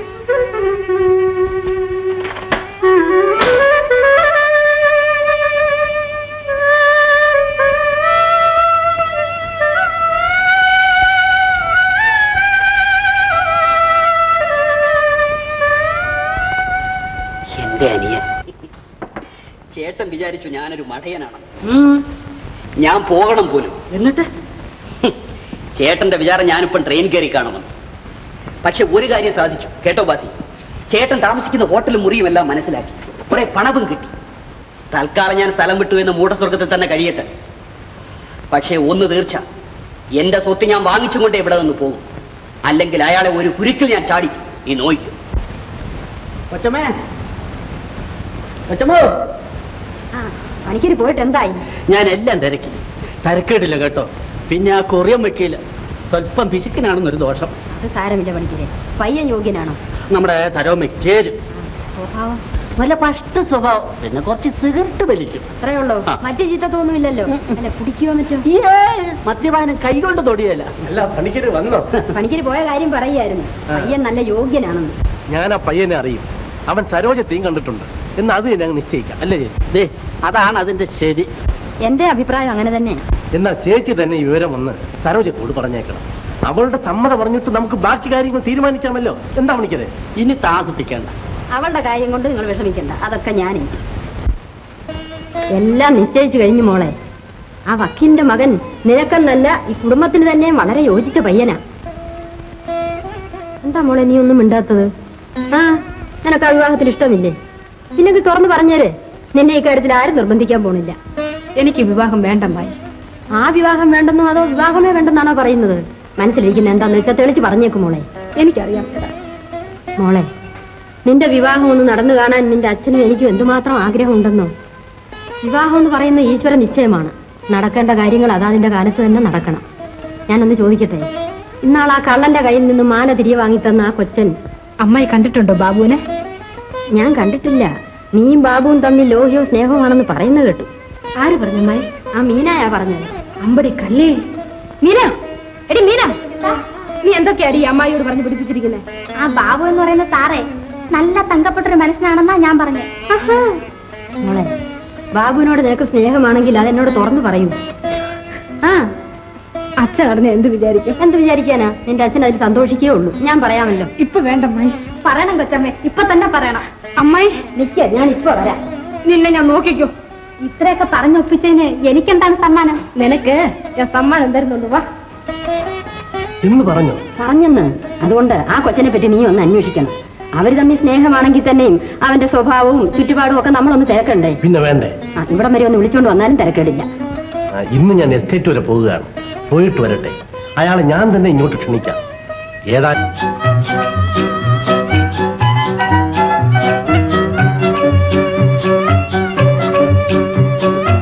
ബിസിനസ് കാരണം ഒരു സ്വൈരവുമില്ല.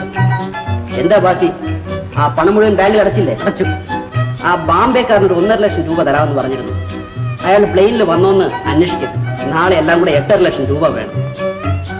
എന്താ നന്ദി? അതിശയം തോന്നുന്നു അല്ലേ? നിങ്ങളൊക്കെ വലിയ പണക്കാര്. രക്ഷപ്രഭുക്കൾ. അതുകൊണ്ടായിരിക്കും ഈ പാവപ്പെട്ടവളുടെ വീട്ടിലേക്കൊന്നും വരാത്തത്. അതുകൊണ്ടൊന്നും അല്ല സമയം കിട്ടണ്ടേ നളിനി? ഈ ബിസിനസ് കാരണം. അമ്മ എന്നും പറയും ഒന്ന് കൂട്ടിക്കൊണ്ട് ചെല്ലുന്നതാണ്. അതിനെന്താ? നാളെ തന്നെ പൊയ്ക്കളയാം നേരെ ഇത്ര ഇരുട്ടിട്ട് നളിനി വന്നില്ലല്ലോ. ഇനി തിരക്കി പോകാൻ പറ്റോ വേണോ? നിങ്ങൾ എങ്ങും പോകണ്ട അവൾ ഇനി വരും. അവൾ പഠിത്തമുള്ള പെങ്കൊച്ചല്ലയോ? അതുകൊണ്ട് തോന്നിയാസം പോകാമെന്നോ? നിങ്ങൾക്ക് എന്തോന്നറിയാൻ തേയില കച്ചവടം ചെയ്യാനല്ലാതെ. അല്ല ഞാൻ അറിയാണ്ട് ചോദിക്കാം നിങ്ങൾക്ക് എന്തോന്ന് അറിയാമെന്ന് ചേടാ മറ്റ് ഇംഗ്ലീഷും ബി എയും ഒക്കെ പഠിച്ച പെമ്പിളാർ എപ്പോഴും ഇങ്ങനെ പെരക്കാതിരിക്കാൻ ഒക്കുവോ? ഇത് നല്ല കൂത്ത്. അവക്കൊരു ഉദ്യോഗം കിട്ടിയ നമ്മുടെ കഷ്ടപ്പാടൊക്കെ നീങ്ങത്തിരിയോന്ന് ആ അതിനിങ്ങനെ രാത്രി ഇറങ്ങാറുന്നാണോ ഉദ്യോഗം തിരക്കുന്നത്? തിരക്കേടില്ല. ദേ ഒരു കാര്യം. എന്റെ വായിരിക്കുന്നൊന്നും കേൾക്കരുത് പറഞ്ഞേക്കാം. അവർക്ക് സംബന്ധത്തിന് വേണ്ടി ഒരു കൊച്ചം കൂടിയിട്ടുണ്ടെന്ന്. വലിയ വലിയ കാശുകാരൻ പയ്യനാ. എന്റെ സച്ചിദാനന്ദ അവനെ ആരും തട്ടിക്കൊണ്ട് പോകരുതേ. അത് ഏത് കൊച്ചനാണ് ഏത് കൊച്ചനാണെന്ന്. നിങ്ങൾ ഇനി നാട് മുഴുക്ക നടന്ന് പറഞ്ഞേക്കരുത്.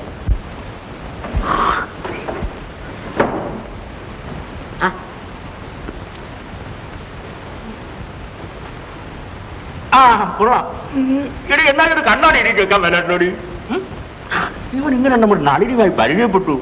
അതാണ് പെമ്പിള്ളേരുടെ യോഗം എന്ന് പറയുന്നത്. അവളെ രണ്ട് അക്ഷരം പഠിപ്പിച്ചതിന്റെ ഗുണം മനസ്സിലായോ? ഏതായാലും അവനെ എനിക്കൊന്ന് കാണണം. അവനെ ഇവിടെ വരുത്താമെന്ന്. പ്രഭുവാ എനിക്കൊന്നും മനസ്സിലാകുന്നില്ല. മനസ്സിലാകണേ ബുദ്ധി വേണം ബുദ്ധി. മോളെ നീ ഇത്ര നേരം എവിടെ ആയിരുന്നു ഞാൻ. ഞാൻ ചോദിച്ചോളാം. നിങ്ങൾ അവിടെ അടങ്ങിയിരുന്നാട്ട്. മോളെ നീ എന്താ അവനെ ഇങ്ങോട്ട് കൂട്ടിക്കൊണ്ട് വരാനിത് അച്ഛൻ കൂടെ ഒന്ന് കണ്ടോട്ടെ? ആ ഉള്ളതാ മോളെ. ഇങ്ങോട്ട് വരാമെന്ന് പറഞ്ഞിരിക്കുക അച്ഛനെ പിടിച്ച ഞാൻ വിളിക്കാത്തത്. അച്ഛൻ നീർക്കൊരു ചുക്ക് പറഞ്ഞു കൂടടി നീ. നാളെ തന്നെ അവനെ ഇങ്ങോട്ട് കൂട്ടിക്കൊണ്ട് വാ. ഏ? ബാബു എപ്പോ വരുന്നാ പറഞ്ഞത്? എത്ര പ്രാവശ്യം പറയണം. അഞ്ചര മണിക്ക് അഞ്ചര മണിക്ക്.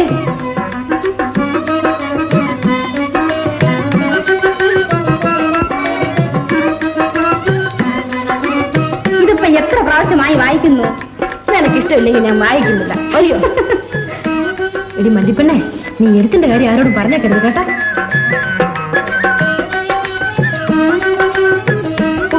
ഇത് ഓടുന്നില്ലേ? പാട്ടിന്റെ സൂചി തിരിച്ചു വെച്ച സമയം പോകുന്നു. നീ പോടി ഞാൻ കീ കൊടുക്കാൻ മറന്നു പോയത് അല്ലെങ്കിൽ ഈയിടെ എല്ലാം മറവിയാ? എനിക്കറിയാം. കൊച്ചമ്മേ ദേ വന്നു. അമ്മായി ഞങ്ങൾ പോവുക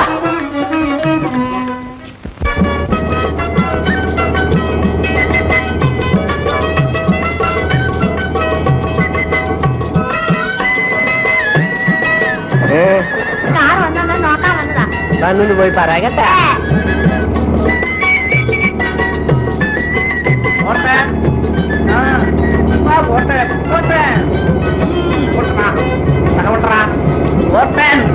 പറയാകട്ടെ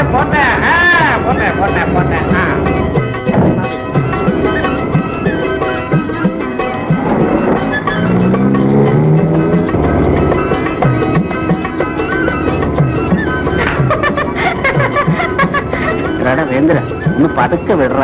ഇവിടെ എങ്ങാനും കടയുണ്ടോ എന്ന് നോക്കട്ടെ ചുണ്ണാമ്പ് വേണം. എനിക്കൊന്ന് മുറുക്കാൻ. മുറുക്കണം? ആ എന്നാ ചേട്ടൻ ഇവിടെ ഇരി. ഞാൻ പോയി ഇപ്പൊ എടുത്തോണ്ട് വരാം. ഏ? വേഗം വരണേ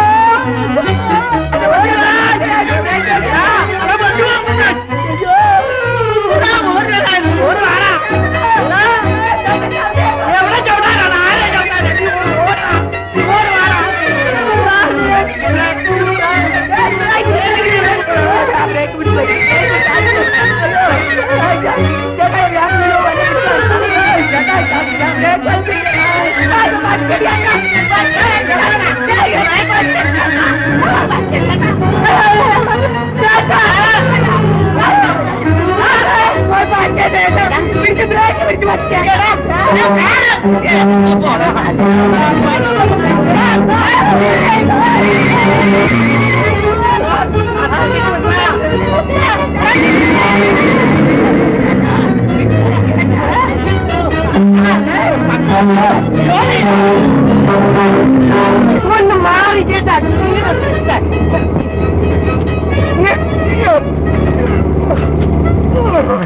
ഭഗവാനെ രക്ഷപ്പെട്ടു എന്താ? എപ്പോഴും ഒരു ലൈബ്രറിയും കൊണ്ട് തന്നെ നടപ്പോ ഇവരാണ് എന്റെ കൂട്ടുകാർ അത് കൊള്ളാം. അവർ വളരെ ഉപകാരമുള്ള കൂട്ടുകാരാണ്. അതെന്താ? വല്ലവർക്കും വല്ല പ്രൈവറ്റ് എഴുത്തുകളെ പറ്റി അയക്കണമെങ്കിൽ സ്റ്റാമ്പിന്റെ ചെലവുമില്ല. ഒരുത്തിനോട്ട് അറിയയില്ല അതാണോ? ആട്ടെ ഞാൻ തന്നെ പുസ്തകം വായിച്ചു? പുസ്തകം വായിച്ചില്ല. അതിലൊരു എഴുത്ത് വായിച്ചു. അതൊരു നൂറ് പ്രാവശ്യമെങ്കിലും വായിച്ചു മീന നീ ആ പുസ്തകം വായിച്ചു വെച്ചു? അതാ തെറ്റിയ കിടപ്പുണ്ട്. അയ്യോ അതിപ്പോ അച്ഛനെങ്ങാനും വന്ന് കണ്ടു കാണും. എന്താ? സരോജൻ പുസ്തകം വായിക്കുന്ന അച്ഛൻ ഇഷ്ടമല്ലേ? പുസ്തകമല്ല. അതിലെ എഴുത്തിരിപ്പുണ്ട്. മീന അച്ഛൻ വരുന്നിടുമ്പോ നമുക്ക് അങ്ങ് എത്തണം. ഞങ്ങൾ വരട്ടെ ബാബു. വാ. ചേച്ചി സരോജ കൂടെ അവളും മീനായും കടപ്പുറത്ത് പോയിരിക്കുക അപ്പൊ പതിവായിട്ട് പോകാറുണ്ടോ? കൊള്ളാം. അതിരിക്കട്ടെ നീ ആ ബാബുവിന്റെ കാര്യം അന്വേഷിക്കാമെന്ന് പറഞ്ഞിട്ട്. അന്വേഷിച്ചു. ഞാൻ നേരിട്ട് മറ്റു പലരെ കൊണ്ടു. എന്നിട്ട്? കൊള്ളാം ചേച്ചി. വീട് കുറച്ച് വടക്കാണ്. വലിയ കേളുകെട്ട കുടുംബമെന്നാ പറയുന്നത്. ഒന്നാന്തര സ്വഭാവം. യാതൊരുവിധ ചീത്തത്തരങ്ങളുമില്ല. പിന്നെ സാമാന്യ നല്ല ശമ്പളമുള്ള ഒരു ഉദ്യോഗവുമുണ്ട്. എല്ലാം കൊണ്ടും നമ്മുടെ സരോജ്യത്തിന് ചേരും. എന്നാ പിന്നെ എന്തിനാണ് താമസിപ്പിക്കുന്നത്? കല്യാണം അങ്ങ് നിശ്ചയിച്ചൂടെ? അതിന് കാര്യമുണ്ട്. ഇത്ര ഒത്തിണങ്ങി ഒരു കൊച്ചിനെ കിട്ടുക എന്ന് വെച്ചാൽ അത്ര എളുപ്പമല്ല. മറ്റു വല്ലവരും ആലോചിക്കുന്നതിന് മുമ്പ്. ചേച്ചേ അങ്ങനെയൊന്നും കൈമറിഞ്ഞു പോവില്ല ചേച്ചി. എല്ലാ കാര്യങ്ങളും ഞാൻ ആലോചിച്ച് ശരിപ്പെടുത്തി കൊണ്ടുവരികയാണ്. ആ ആ, ചേച്ചി ഇത് കണ്ടില്ലല്ലോ. നന്നായിരിക്കുന്നു. ഇതിന് വലിയ വിലയായി കാണുമല്ലോ. എന്നാലും തിരക്കേടില്ല. കണ്ടപ്പോഴങ്ങ് വാങ്ങിച്ചു. അവളുടെ കൈക്ക് വളരെ യോജിക്കുമെന്ന് തോന്നി. എന്റെ മോൾ ഇതെല്ലാം കൊതിതീരെ അണിഞ്ഞുകൊണ്ട് നടക്കുന്നു. നീ വാ മോളെ. നിനക്കിത് ഇഷ്ടപ്പെട്ടോ നോക്ക്. നന്നായിരിക്കുന്നു അമ്മായി. എനിക്കിഷ്ടപ്പെട്ടു. കയ്യിലിട്ട് നോക്ക് ചേരുമോന്ന്. അമ്മ വന്നട്ടെ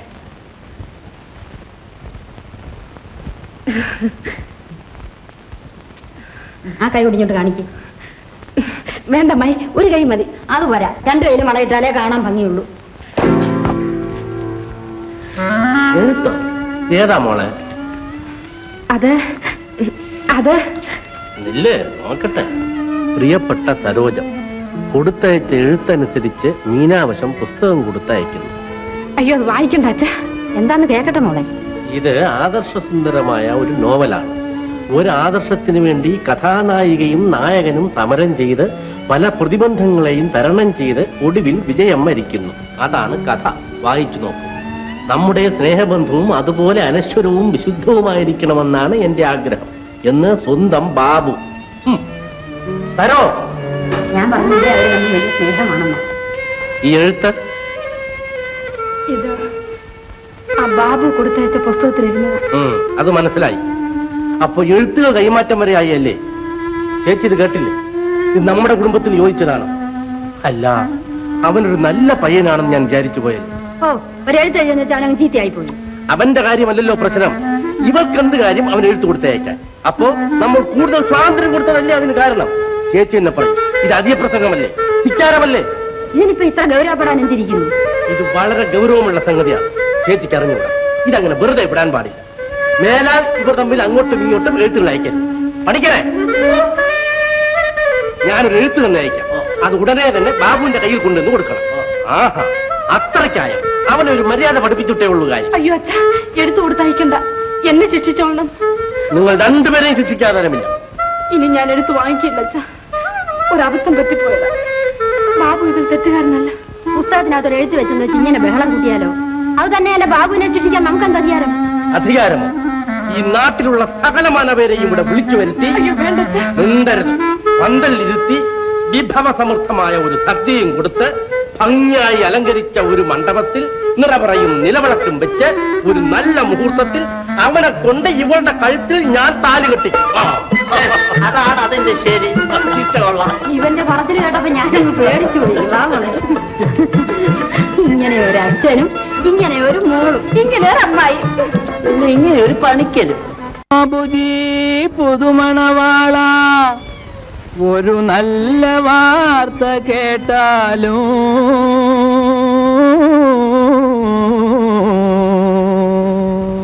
കല്യാണ വിരുന്ന് നല്ലോണം ഇരുന്ന് കഴിക്കണം നീ ഇന്ന്. സഹജ കഴിക്കണം നീ ഇന്ന്. കല്യാണ നല്ലോണം ഇരുന്ന് കഴിക്കണം നീ ഇന്ന്. സഹജ കഴിക്കണം നീ ഇന്ന്. കഴിയുമെങ്കിൽ നീ ഒട്ടകം പോലിത് കരുതിക്കോ വയർ നിറച്ച്. സഹജ കരുതിക്കോ വയർ നിറച്ച്. കാരണം? നാളെ നിനക്കായി വരുന്ന പെണ്ണൊരു നാടൻ പെണ്ണല്ല. വലിയൊരു മാളിക മോളിനു വിലസുന്നവൾ ഒരു കോളേജ് കുമാരിയാം. സഹജ കോളേജ് കുമാരിയാം. ജിക്കുട്ടാൻ ജിക്കുട്ടാൻ ജിക്കുട്ടാൻ ജിക്കുട്ടാൻ ജിക്കുട്ടാൻ ജിക്കുട്ടാൻ ജി ജിക്കുട്ടാൻ ജിക്കുട്ടാൻ ജിക്കുട്ടാൻ ജി ജിക്കുട്ടാൻ ജിക്കുട്ടാൻ ജിക്കുട്ടാൻ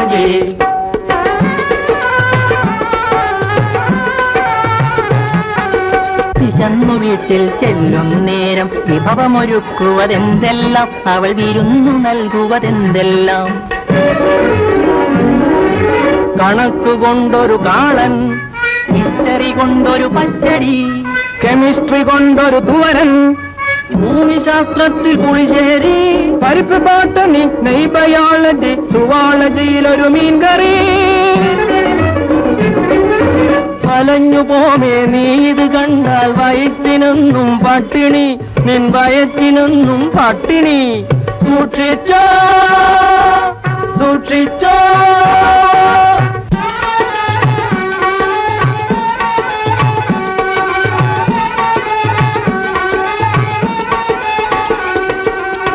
പെണ്ണെന്ന് വച്ചാൽ എന്താണ്?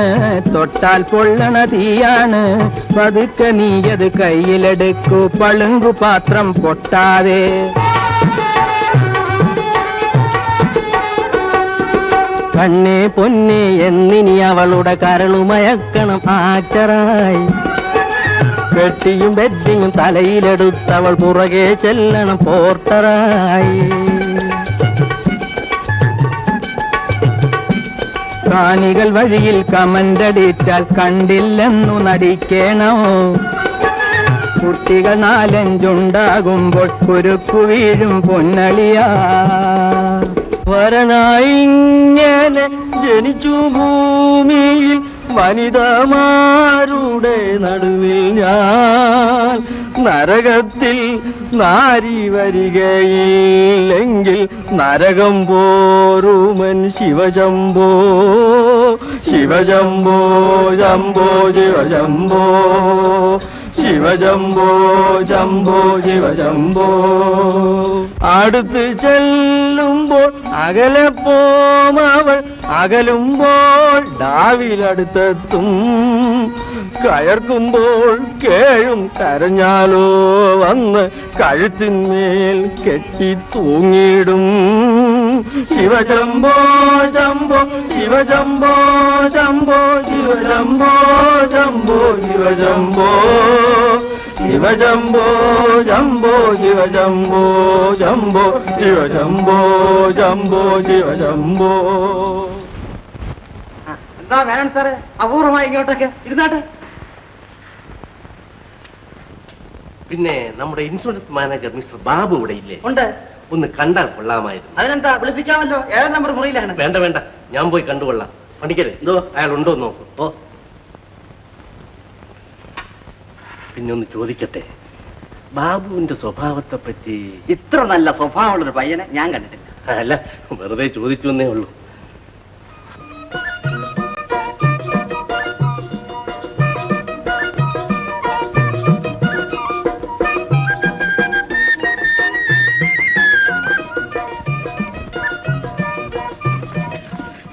ഉണ്ടോ? വന്നാട്ടെന്ന്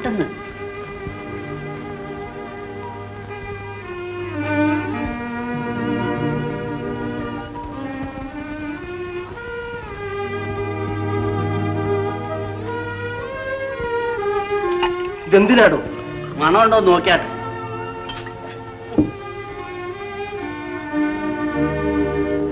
എന്താ? ഇതൊന്നും ഞങ്ങൾ കണ്ടുപിടിക്കരുതെന്നാണ് വിചാരിച്ചത് അതൊക്കെ അങ്ങ് മനസ്സിലിരിക്കട്ടെ. കൂട്ടുകാരൻ ഇവിടെ താനെന്റെ അപകടത്തിൽ ചാടിക്കുമെന്നാ തോന്നുന്നത്. ഇതല്ലേ ഏഴാം നമ്പർ മുറി.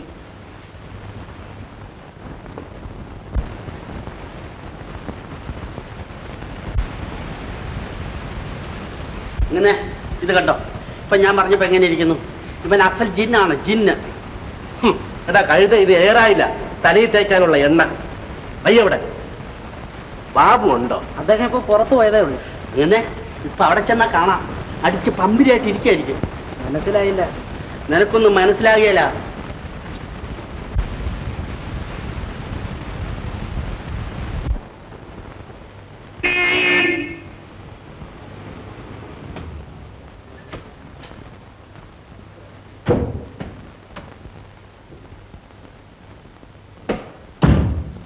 ഇതാണ് മദ്യഷാപ്പ്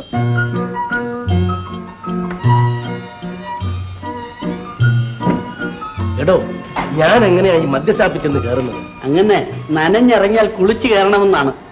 ഏതായാലും ഞാൻ ഇവിടെ നിൽക്കാം താൻ പോയി അവൻ ഉണ്ടോ നോക്കിയിട്ട് വരും. ഓ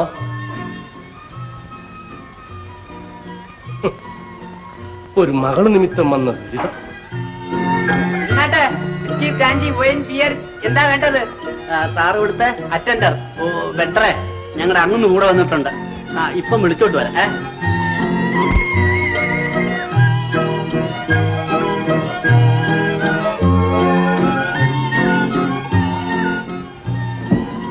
ഇരിപ്പുണ്ട് കുടിച്ചോണ്ടിരിക്കുക ഉണ്ടോ? ആ ശരി വരൂ.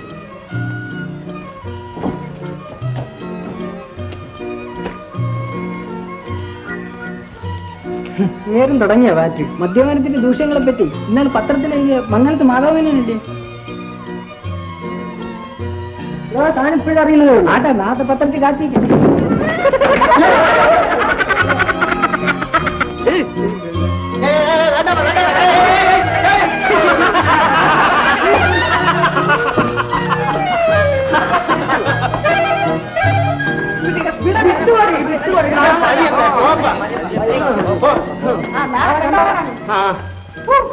ഇതും കൂടെ നാളത്തെ പത്രത്തിൽ കാച്ചിക്കോടാ.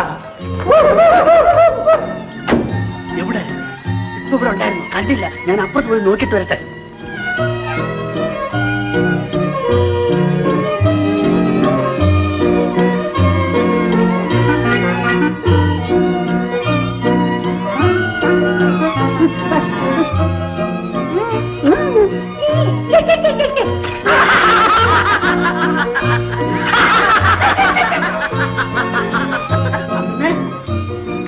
ഇരിപ്പുണ്ട് വന്നാട്ടെ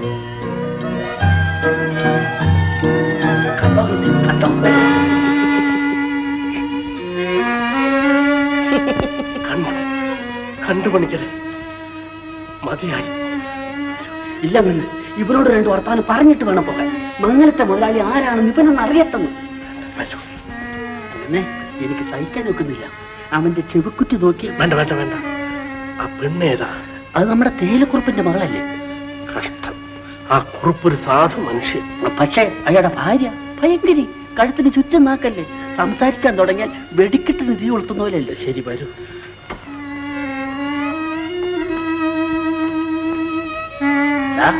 നിന്റെ ഒരു ചൂടുള്ള തല്ല് കൊണ്ടിട്ടില്ല. ഇത് പണിക്കരാണെങ്കിൽ നിന്റെ ചെവക്കുറ്റയുടെ വണ്ടി ഞാൻ കിടക്കും നിർത്തടാ. പന്തലും വേണ്ട പരവതാനിയും വേണ്ട. എടാ നിർത്താൻ നീ പോയിട്ട് എന്താ അന്വേഷിച്ചോ? എല്ലാം അന്വേഷിച്ചു ചേച്ചി. പണിക്കരും വേന്ദ്രനും പറഞ്ഞതെല്ലാം അക്ഷരം പ്രതി ശരിയാണ്. ഞാൻ അവനെ കണ്ടു മദ്യഷാപ്പിൽ വെച്ച്. കൂടെ ആ തേയിലക്കുറിപ്പിന്റെ മകളും ഉണ്ടായിരുന്നു. നേരാണോ അവനെ തന്നെയാണോ നീ കണ്ടത്? നിനക്കൊരു പക്ഷെ ആൾ തെറ്റിപ്പോയിരിക്കും. അത് ശരിയാണ്. എന്റെ മകളുടെ ഭർത്താവായി ഞാൻ തിരഞ്ഞെടുത്ത ആൾ വളരെ പോയി പാവം സരോജം ഇത് വല്ലതും അറിഞ്ഞാൽ. അതാണ് എനിക്കും വിഷമം. ഏതായാലും ആ തേയിലക്കുറിപ്പിനെ ഞാനൊന്ന് കണ്ടോട്ടെ? അവനെ പറ്റിയുള്ള കൂടുതൽ വിവരങ്ങൾ അറിയാമല്ലോ. സരോമേ കല്യാണം കഴിയുമ്പോ ഞങ്ങളെ ഒന്നും മറന്നേക്കരുത് കേട്ടാ. കല്യാണം കഴിഞ്ഞാലും ഞങ്ങൾ ഇവിടെ തന്നെ താമസിക്കും മീന. ഞാൻ എന്റെ അച്ഛനെ പിരിഞ്ഞ് ഒരിക്കലും പോവില്ല. വാ നേരമായി.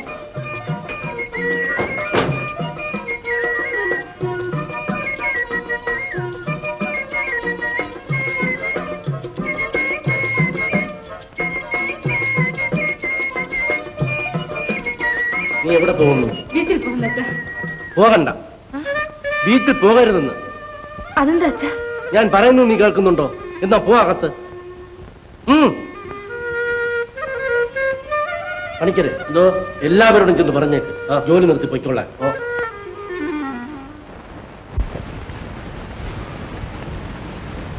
പുതിയ എസ്റ്റേറ്റ് വാങ്ങിയ വകയിൽ കുറെ ബാക്കി കൊടുക്കാനുണ്ട്.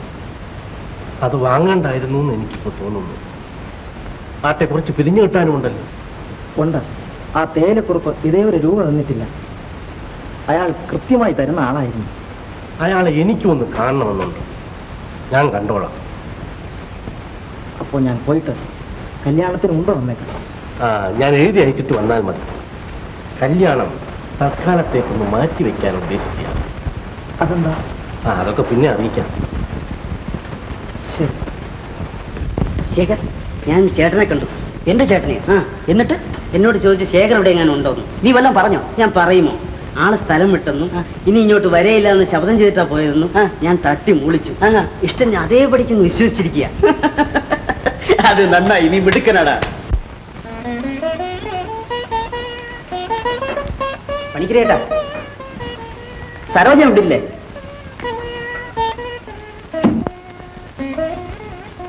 എന്താ ചേട്ടാ ഒന്നും മിണ്ടാത്തത്?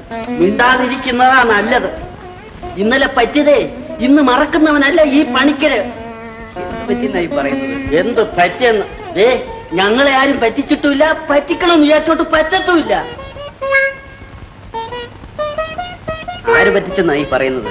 അങ്ങനെ വല്ല വിചാരം ഉണ്ടെങ്കിൽ അത് മനസ്സിലിരിക്കട്ടെ ഞങ്ങളോട് വേണ്ട. എന്താ ചേട്ടാ ഒരു ലെക്കില്ലാത്ത പോലെ സംസാരിക്കുന്നത്? ലെക്കില്ലാത്തത് എനിക്കല്ല.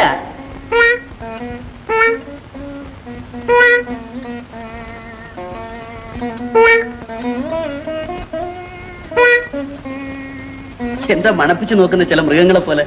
മനുഷ്യൻ മൃഗമാകുന്ന കാലമല്ലേ ഇപ്പൊ?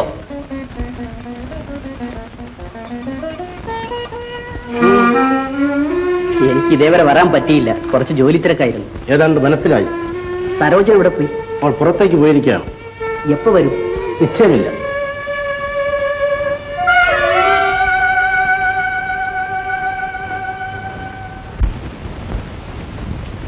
പണിക്കരെ. എന്തോ? അവൻ കുടിച്ചിട്ടുണ്ടോ? അല്പം കാണണം. പക്ഷെ സംസാരം കേട്ടിട്ട് കുടിച്ചതായി തോന്നുന്നില്ല. അതങ്ങനെ വലിയ കുടിയന്മാരുടെ ലക്ഷണം.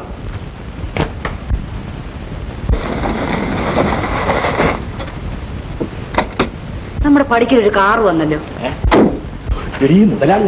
കണ്ട കണ്ട വലിയ വലിയ ആളുകളൊക്കെ നമ്മുടെ വീട്ടിൽ കയറാൻ തുടങ്ങിയത്. ഇത് ആരുടെ ഗുണമാ? അയ്യോ എല്ലാം നിന്റെ ഗുണം തന്നെ. നീ മിണ്ടാതിരിക്കേ.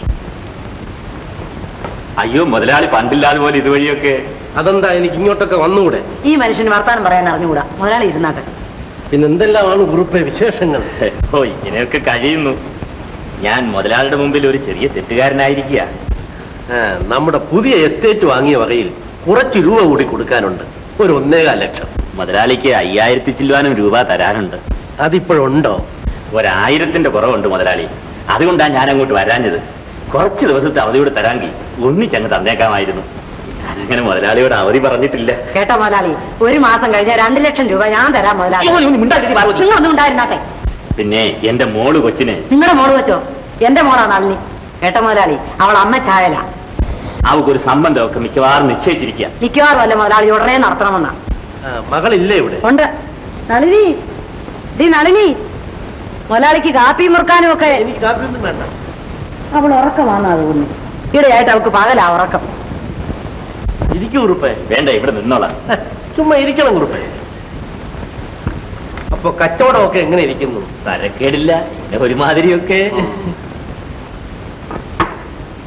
പേരെന്താ? നളിനി. ആ നിന്നെ കാണാനാ. അങ്ങനത്ത് മുതലാളിയായത്. നീ അറിയുമോ? അതി പറഞ്ഞതിന്റെ കൂട്ട്. അവളെങ്ങനെ ലോകത്തിലുള്ളവരെയൊക്കെ അറിയില്ലേ ഞാൻ കണ്ടിട്ടുണ്ട്. സരോജത്തിന്റെ അച്ഛനല്ലേ? ആ ആ സരോജമ്മയുടെ സംബന്ധം. ഒന്നും തീരുമാനമായിട്ടില്ല. ആലോചനകളുണ്ട്. എന്റെ നളിനിയുടെ കല്യാണത്തിന് മുതലാളി വരണം. വേറെ ആരോടും ഇതുവരെ ഞാൻ പറഞ്ഞിട്ടില്ല. തീർച്ചയായും. ഇതാ അങ്ങോട്ട് നിപ്പാവല്ലോ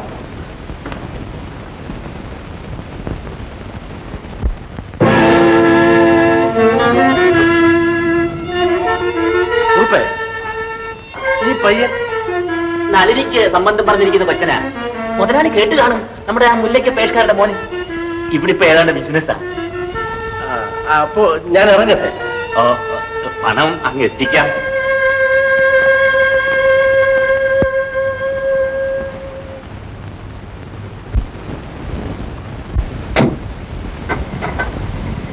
നളിനിയുടെ കല്യാണം ഉടനെ നടത്തണം. ഉടനെ എന്ന് വെച്ചാ ഉടനെ. അതെന്താ നിനക്ക് ഇപ്പോൾ അങ്ങനെ തോന്നാൻ? അതിനെന്താണ്? ആ ഫോട്ടോ പടത്തിലേക്ക് ആ മുതലാളി സൂക്ഷിച്ചു നോക്കിയത് കണ്ടോ? ആ കൊച്ചന്റെ കാര്യത്തെ പറ്റി ചോദിച്ചു കേട്ടോ അതിനെന്താ? അതിനെന്താണ്? മൂളില്ലാത്ത മനുഷ്യനോട് എന്തോ പറയാനാ?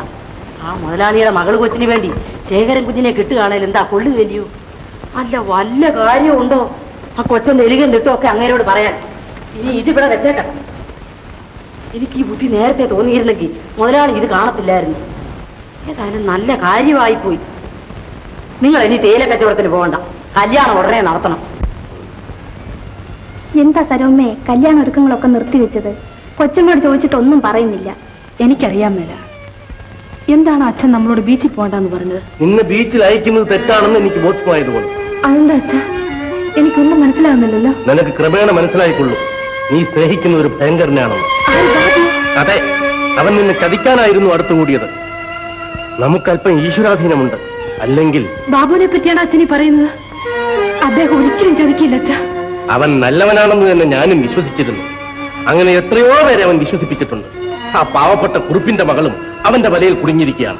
നീ അറിഞ്ഞോ അവർ തമ്മിലുള്ള വിവാഹം നടക്കാൻ പോകുന്നു. ഞാനിതൊരിക്കലും വിശ്വസിക്കില്ല. അച്ഛനെ ആരെ തെറ്റിദ്ധരിപ്പിച്ചിരിക്കുകയാണ്. എന്നെ തെറ്റിദ്ധരിപ്പിച്ചിരിക്കുകയാണെന്നല്ലേ? വാ.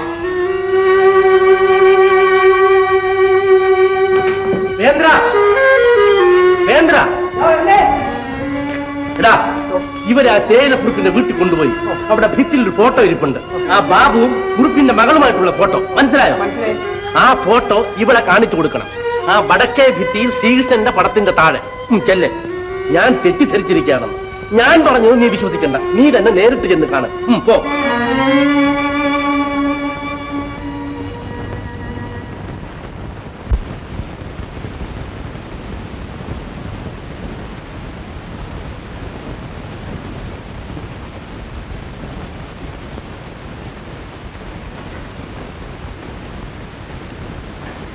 ഏതാ? മനസ്സിലായില്ലല്ലോ. മംഗലത്തെ മുതലാളിയുടെ മകളാ. ഇരുന്നാട്ടെ കുഞ്ഞെന്താ ഈ വഴിയൊക്കെ വന്നത്? ഓ വെറുതെ വന്നേ ഉള്ളൂ. ഈ വഴി പോയപ്പം വേന്ദ്രൻ പറഞ്ഞു ഇതാ കുറുപ്പിയേട്ടന്റെ വീടെന്ന്. നളിനി ഇല്ലേ ഇവിടെ? ഉണ്ട്. നളിനി? കുറച്ച് കാപ്പി ഉണ്ട് കേട്ടെ കുഞ്ഞെ. വേണ്ട.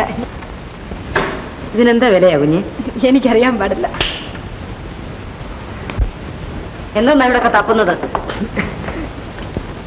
ഈ പടങ്ങളുടെ ഭംഗി കണ്ട് നോക്കിപ്പോയതാ. ഇന്നാൾ ഇവിടെ ഒരു ഫോട്ടോ നോക്കിയിരുന്നല്ലോ ഇവിടെ ആരുടെയും പടമൊന്നുമില്ല വരൂ വേന്ദ്ര.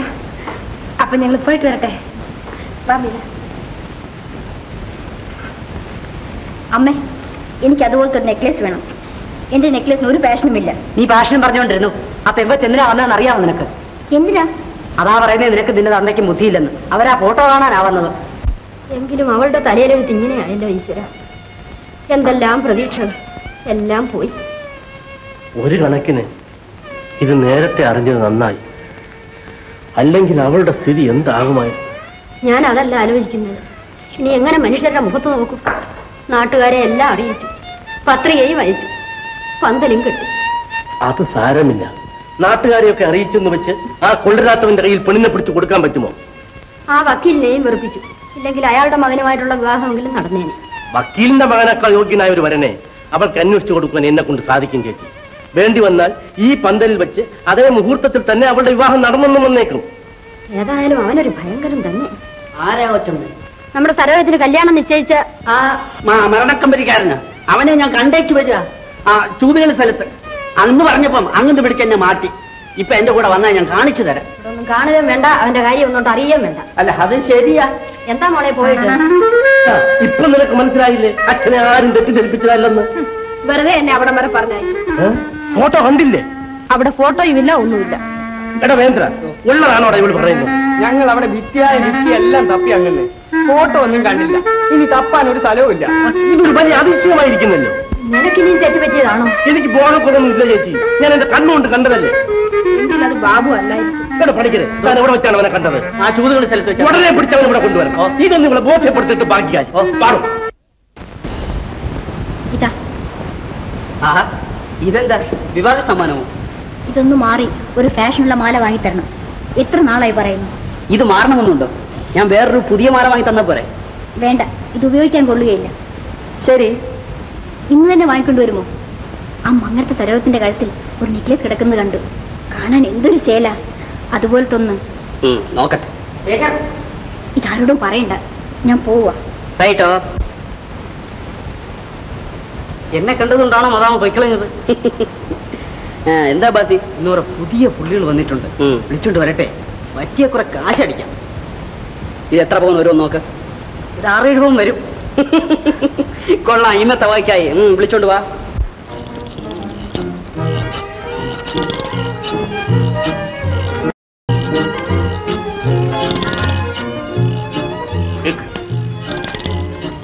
പണം പണം പണം പണം. കണ്ടോ. പണം ഇല്ലല്ലോ സ്നേഹിത പണം ഇല്ലെങ്കിൽ വാച്ച് വയ്ക്കേ എനിക്ക് വേണ്ടിയത് പണമാണ് പണം. എല്ലാം അതിനു വേണ്ടി മാത്രം. ഈശ്വര. എന്റെ മകൾ ഈ കാർക്കുടകനെയാണല്ലോ സ്നേഹിച്ചത്. അന്നൊന്നും ഇവിടെ നിന്നാട്ടെ. ഞാൻ ചെന്ന് സൂപ്പർ സെല്ലിംഗ് വിളിച്ചോണ്ട് പോരാം. ചെല്ലു ചെല്ലു. മറ്റുള്ളവരറിയണ്ട ഞാൻ വിളിക്കുന്നു പറ. ഉടനെ വീട്ടിലേക്ക് കൊണ്ടുപോകാം. എപ്പോഴെങ്കിലും സരോജൻ വിശ്വസിക്കുമോ എന്നറിയട്ടെ ഇവനൊരു ഭയങ്കര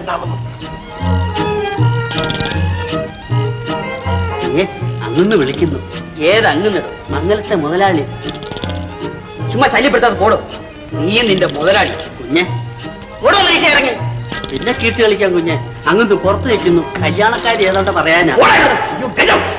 ഇവിടെ നിന്ന് കളിച്ചോ. നിന്നെ ഞാൻ എടുത്തോളാം. ഇടിയറ്റ് കമാ കമാ ഇന്ന് ഞാൻ രണ്ടിലും തീരുമാനിക്കുന്ന ദിവസമാണ്. വരൂ. നീ ഒരിക്കലും കരയരുതെന്ന് ഞാൻ ആശിച്ചു. നീ കരഞ്ഞാൽ ഞാനും കൂടെ കരയുമായിരുന്നു. നീ ഇതുവരെ ഒരു മൂഢസ്വർഗത്തിലായിരുന്നു മോളെ. ആട്ടിൻ തോലിട്ട ചെന്നായാണ് അവൻ ഞാനിത് എങ്ങനെ വിശ്വസിക്കും അച്ഛാ? ഇനിയും നീ അങ്ങനെയാണോ പറയുന്നത്? അവനൊരു പോക്കിരിയാണെന്ന് പണിക്കര് പറഞ്ഞപ്പോ ഞാൻ അയാളെ ശാസിക്കാണ് ചെയ്തത്. പക്ഷെ ഞാൻ കണ്ടു. എന്റെ കണ്ണുകൾ കൊണ്ട് തന്നെ കണ്ടു. ഒന്നല്ല പല പ്രാവശ്യം.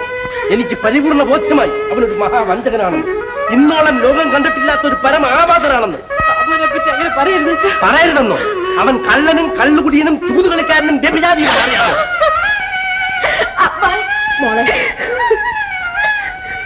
ഈശ്വര ഇതെന്തൊരു പരീക്ഷണം? എന്റെ കുറ്റം തന്നെ. എല്ലാം എന്റെ കുറ്റം തന്നെ. ഇവിടെ എന്തോന്ന് കുറ്റം വന്നത്? സഹിക്കാൻ വയ്യ ചേച്ചി സഹിക്കാൻ കാടായി. ഞാൻ അവന് കിറുക്കനായിരുന്നെങ്കിലെന്ന് ആശിക്കാണ് ചേച്ചി. എന്റെ ജീവന്റെ ജീവനായി കരുതുന്ന ഇവൻ ഞാൻ പറയുന്നത് വിശ്വസിക്കുന്നില്ലെങ്കിൽ. ഞാൻ അങ്ങനെയല്ല പറഞ്ഞത്. പിന്നെ നീ എങ്ങനെയാണ് പറഞ്ഞത്? മോളെ നിനക്ക് ഈ നിർബന്ധം കൊള്ളുകയില്ല. അമ്മായിയും എന്നെ ഇങ്ങോട്ട് നോക്ക് മോളെ നിന്റെ അച്ഛൻ നിനക്ക് നന്മയല്ലാതെ എന്തെങ്കിലും ചെയ്യുമോ? നീ എന്താ അത് ഓർക്കാത്തത്? ഇവളെ ഞാൻ ലാളിക്കരുതായിരുന്നു. അതിന്റെ അനുഭവമാണിത്. ലോകത്തിലുള്ള സകല മാതാപിതാക്കളോടും വിളിച്ചു പറയുവാൻ എനിക്ക് തോന്നിപ്പോകുന്നു. മക്കളെ ആരും ഇങ്ങനെ അമിതമായി ലാളിച്ചു വളർത്തരുത്. അതിന് ഞാൻ എന്ത് തെറ്റ് ചെയ്തു? അച്ഛൻ പറയുകയാണെങ്കിൽ ഞാൻ ബാബുവിനെ മറന്നേക്കാം. പക്ഷേ അദ്ദേഹം ഒരിക്കലും ദുഷ്ടനും വഞ്ചകനുമല്ല. സ്നേഹം നിറഞ്ഞ ഒരു ഹൃദയമുണ്ട് അദ്ദേഹത്തിന്. സ്നേഹം നിറഞ്ഞ ഹൃദയം. എനിക്കറിയാം അവൻ എന്തിനെയാണ് സ്നേഹിക്കുന്നതെന്ന്. മംഗലത്ത് മാധവമേനന്റെ മകളെയല്ല സ്വത്തിനെയാണ് സ്നേഹിക്കുന്നത്. നിന്നെ തന്നെയല്ല ആ കുറുപ്പിന്റെ മകൾ ഉൾപ്പെടെ പലരെയും അവൻ അങ്ങനെ സ്നേഹിക്കുന്നുണ്ട്. ഏതായാലും ആ കാട്ടാളൻ നിന്നെ കുരുതി കൊടുക്കാൻ ഞാൻ തയ്യാറില്ല. നീ വിശ്വസിച്ചാലും ശരി ഇല്ലെങ്കിലും ശരി. നീ അവനെ അങ്ങ് മറന്നിരുന്നോളെ നിനക്ക് യോഗ്യനായ ഒരു വരനെ നിന്റെ അച്ഛൻ അന്വേഷിച്ചു കൊണ്ടുവരും. ഇനി ഈ ജന്മത്തിലോ? ചേച്ചി അവൾ എന്താണ് പറഞ്ഞത്? മോളെ നീ അബദ്ധമൊന്നും പറഞ്ഞു പിടിപ്പിക്കാതെ. അബദ്ധമല്ലമ്മായി ബാബുവിനെ ഞാൻ മറന്നേക്കാം. എന്നേക്കുമായി മറന്നേക്കാം. പക്ഷെ എന്റെ ഈ ജീവിതത്തിൽ മറ്റൊരു പുരുഷനെ സ്വീകരിക്കാം. അത് സാധ്യമല്ല സാധ്യമല്ലമ്മായി. സാധ്യമല്ല. സാധ്യമല്ല.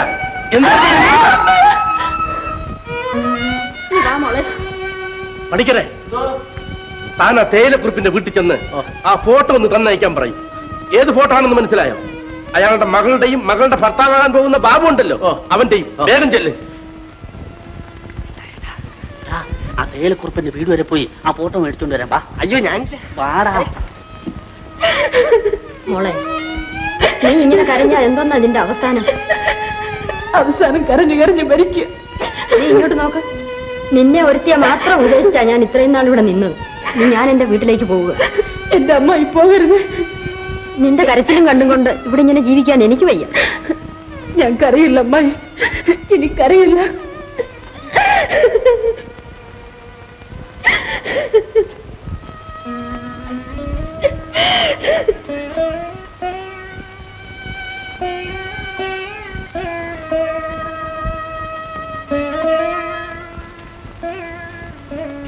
നല്ല ജയലായി.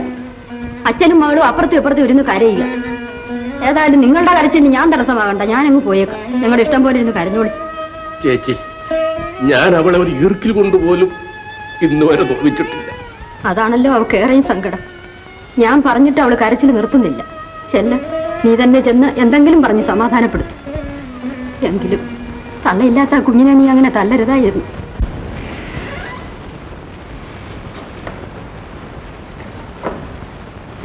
എന്താ? പാർച്ചേച്ചെന്നെ അറിയത്തില്ലേ? അറി എന്താ കാര്യം? കുറിപ്പേട്ടനില്ലേ ഇവിടെ? ഇല്ല എന്താ കാര്യം അങ്ങ് പറഞ്ഞേരെ. പിന്നെ ഇവിടെ ഒരു ഫോട്ടോ ഇരിപ്പുണ്ട്. അത് വാങ്ങിച്ചുകൊണ്ട് എല്ലണം ഒന്ന് മുതലാളി പറഞ്ഞു വെച്ചു ആഹാ ഇവിടെ ഒരു ഫോട്ടോ ഇരിപ്പില്ല ഉണ്ടെങ്കിൽ തന്നെ തരാ സമ്മതമില്ലെന്ന് അങ്ങിയെന്ന് എന്ന് പറഞ്ഞേരെ. അങ്ങനെ അങ്ങ് കട്ടായം പറഞ്ഞാലോ? ആ കട്ടായം തന്നെ. മുതലാളി ഒന്നും പേടിക്കേണ്ട ആവശ്യം ഇപ്പൊ ഞങ്ങൾക്കില്ലെന്ന് പറഞ്ഞേര്. ആഹാ ഓട്ടോ വാങ്ങിക്കാൻ വന്നിരിക്കുന്നു. വന്ന വഴി അങ്ങ് പോയാട്ടെ. ഞങ്ങൾ അങ്ങനെ പോകാൻ വന്നവരല്ല? സരകുഞ്ഞ് കല്യാണം കഴിക്കാൻ വന്ന പയ്യനെ നിങ്ങൾ അങ്ങ് തട്ടിയെടുത്തില്ലേ? എന്തോന്നാ പറഞ്ഞത്? ഞങ്ങൾ തട്ടിയെടുക്കുന്നു. ഞങ്ങളുടെ നാളിയെ സംബന്ധം ചെയ്യാൻ വന്ന ചെറുക്കനെ നിങ്ങൾ തട്ടിയെടുക്കാല്ലേ വിധിയൊക്കെ? അതൊക്കെ അങ്ങ് മനസ്സിരിക്കട്ടെ ആ മുതലാളി ഒരു നല്ലവരാണെന്നാണ് ഞാൻ വിചാരിച്ചത്. ഇപ്പോഴല്ലയോ ആളെ മനസ്സിലായത്. വന്ന വഴി അങ്ങ് പോയാട്ടെ. ഞങ്ങൾ അങ്ങനെ ചുമ്മാ പോകാൻ വന്നവരല്ല ആഹാ. ചുമ്മാ പോവാൻ വന്നവരല്ലയോ? വാങ്ങിച്ചുകൊണ്ടേ പോകത്തുള്ളൂ. ഞാൻ ഒരു പെണ്ണാണെന്ന് കരുതണ്ട. രവേന്ദ്ര നീ കൂടെ എന്തെങ്കിലും പറയടാ. ഞാൻ അപ്പഴേ പറഞ്ഞില്ലേ ഈ കടന്നും കൂട്ടി തലയിടാൻ ഞാൻ മരുന്നില്ലെന്ന്. എന്റെ പൊന്നി ചേച്ചി എന്നോട് ദേഷ്യം തോന്നരുത്. പിന്നെ എന്നോട് ദേഷ്യം തോന്നാനോടാ ഇല്ല ചേട്ടാ ഞാൻ പറയാം. ചേച്ചി ഞങ്ങളുടെ സരോജ കുഞ്ഞിന് ആ പയ്യന് വേണ്ടെന്ന് വെച്ചിരിക്കുക കല്യാണം എല്ലാം നിശ്ചയിച്ചതായിരുന്നു. പിന്നീടാണ് അറിഞ്ഞ ആ പയ്യൻ ചീത്തയാണെന്ന്. എനിക്കും തലച്ചോറും ബുദ്ധിയൊക്കെ ഉണ്ട് മനസ്സിലായോ? ആ പയ്യൻ ചീത്തയാണെന്ന് പറഞ്ഞു കേട്ട് ഞാൻ ഇളകാൻ പോകുന്നില്ല. ഒരൊറ്റ ചോദ്യം. ഫോട്ടോ തരുന്നോ ഇല്ലയോ? നിങ്ങൾ ഇതുവരെ എവിടെ കൊണ്ടാ കേട്ടോ പിടിക്കേട്ടാ ഇതാ വരുന്നേ. എട്ടാം വന്നവന്മാർ അവിടെ കിടക്ക്. വീട് കയറി ആക്രമിക്കാൻ വന്നിരിക്കുന്നു. അതിലൊക്കെ താളുണ്ടോ എന്ന് ഞാനൊന്ന് നോക്കട്ടെ. പാർച്ചേച്ചി. അയ്യോ പാർച്ചേച്ചി. പാർച്ചേച്ചി ഞങ്ങളെ ജീവനോടുകൂടി ഇറക്കിയിട് ചേച്ചി. മാപ്പ് മാപ്പ്. നീ എന്തിനാടാ നിന്ന് വിറയ്ക്കുന്നത്? ജനിച്ചാലും ഒരിക്കലും മരിക്കണവടാ ചേട്ടാ നമ്മളെ തല്ലിക്കൊല്ലാൻ ആളെ വിളിക്കാൻ പോയിരിക്കുക അയ്യോ അങ്ങനെയാണ്. എന്റെ കുഞ്ഞിനെ ആരടാ? ഏ? തൃശ്ശൂർ കഥ നടത്തിയിരിക്കുന്നു. ഇവിടെ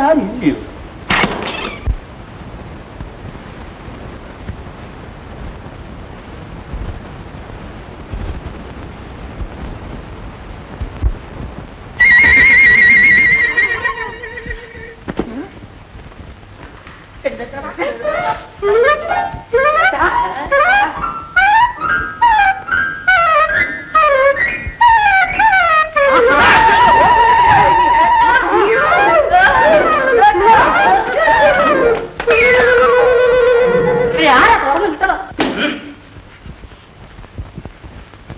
ഇല്ലയോ ആരടിക്കട്ടിൽ കിടന്നു? ദൈവം അല്ലെങ്കിൽ ഞാൻ കൊല്ലും. കൊല്ലാൻ വന്നിരിക്കാന്നോ ആഹാ എന്നാ ഒന്ന് കാണിട്ട് കൊല്ലാൻ വന്നിരിക്കുന്നു.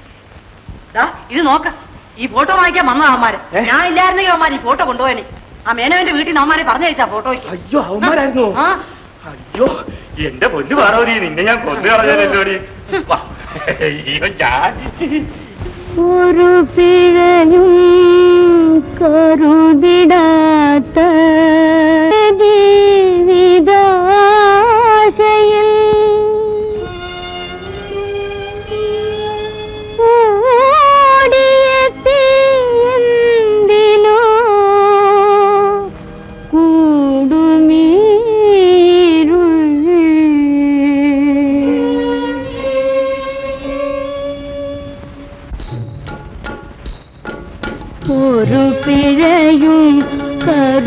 விடாத்தோரென்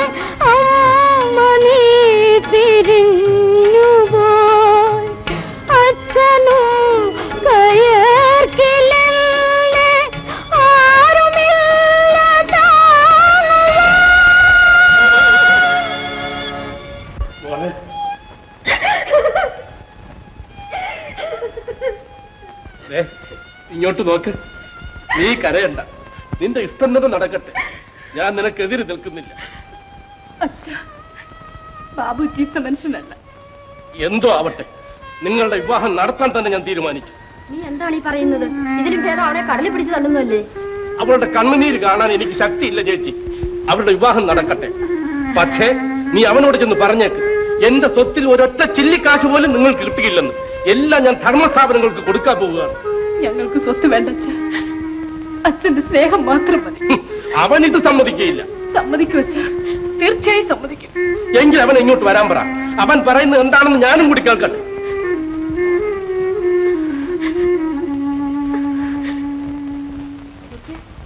അവൻ ഇത് സമ്മതിക്കുകയാണെങ്കിൽ ഈ വിവാഹം നടക്കുമോ? അവൻ സമ്മതിക്കില്ല ചേച്ചി. എനിക്ക് അക്കാര്യത്തിൽ തീർച്ചയുണ്ട്. ചേച്ചി നോക്കിക്കോണം. വിവാഹത്തിന് എന്താ ഇത്ര ധൃതി? എനിക്ക് ധൃതി ഒന്നുമില്ല. അമ്മ പറയുന്നത് ശേഖരെ മറ്റായും തട്ടിക്കൊണ്ട് പോക്കളയുമെന്ന. വാസ്തവമാണ്. എനിക്കും അക്കാര്യത്തിൽ ഭയമില്ലാതെ ഉള്ളതാണ് ശേഖർ. നളിനി ഇത്ര മടിയാണ് ഞാൻ തമാശ പറഞ്ഞില്ലേ എന്നിട്ട് എന്നാ നെക്ലേസ് കൊണ്ടുവരാത്തത്? എത്ര ദിവസമായി? പണിത് തീരണ്ടേ? എന്റെ നളിനിക്ക് എത്ര നെക്ലസ് വേണം? നല്ല രത്നങ്ങൾ പതിച്ചത്.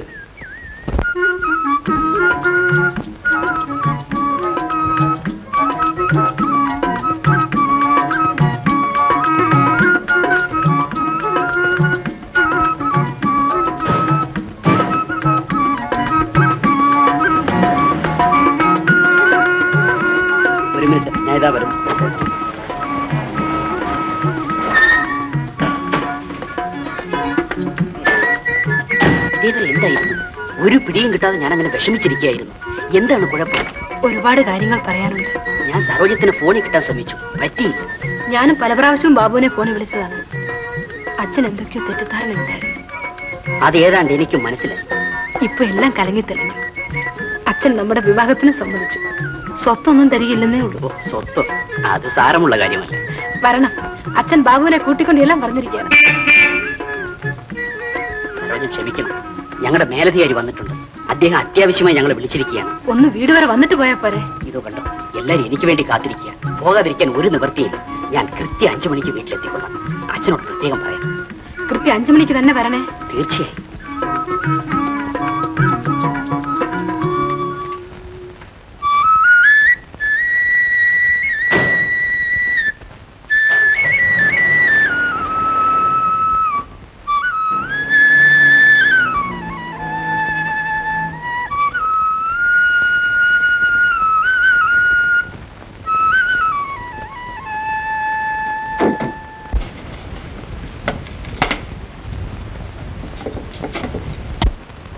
ഇതെന്ത് വില? രണ്ടായിരത്തി അഞ്ഞൂറ് ആ എടുത്തേക്കണം പേര്? എം ബാബു.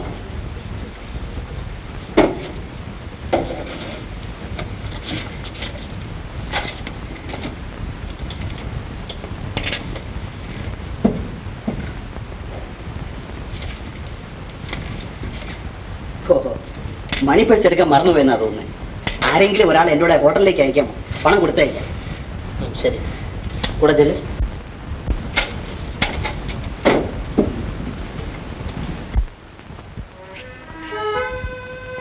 കാപ്പി കുടിക്കണ്ടേ? ഏ ബോയ് ഞാൻ കാപ്പി കൊടുക്കും. കാപ്പി കുടിച്ചിട്ട് റൂമിലേക്ക് വന്നേക്കണം. റൂം അറിയാമല്ലോ? Number seven.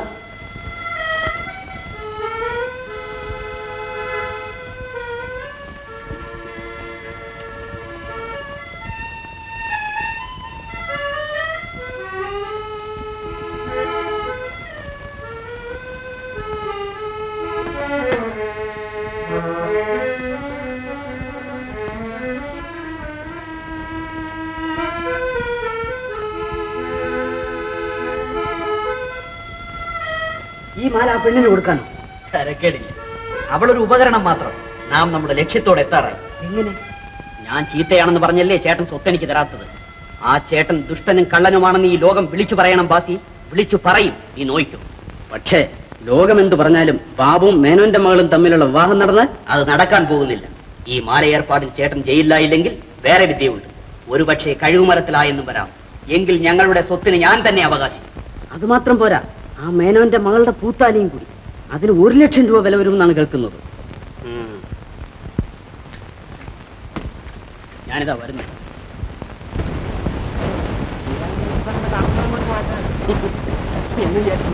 മറ്റുമില്ല. നിനക്കൂടെ അവിടെ താമസിക്കാം. എന്നാ തീരുന്നതിലും തീരുമാനിച്ചു സാർ എല്ലാം നിശ്ചയിച്ചു കഴിഞ്ഞു. ഇന്ന് കൃത്യം അഞ്ചു മണിക്ക് അവിടെ ചെല്ലാമെന്ന് പറഞ്ഞിട്ടുണ്ട്. ഞാൻ ഓഫീസിൽ നേരെ അങ്ങോട്ട് പോകും. നീ ഊണ് കഴിച്ചു? എനിക്ക് വേണ്ടി കാത്തിരിക്കണ്ട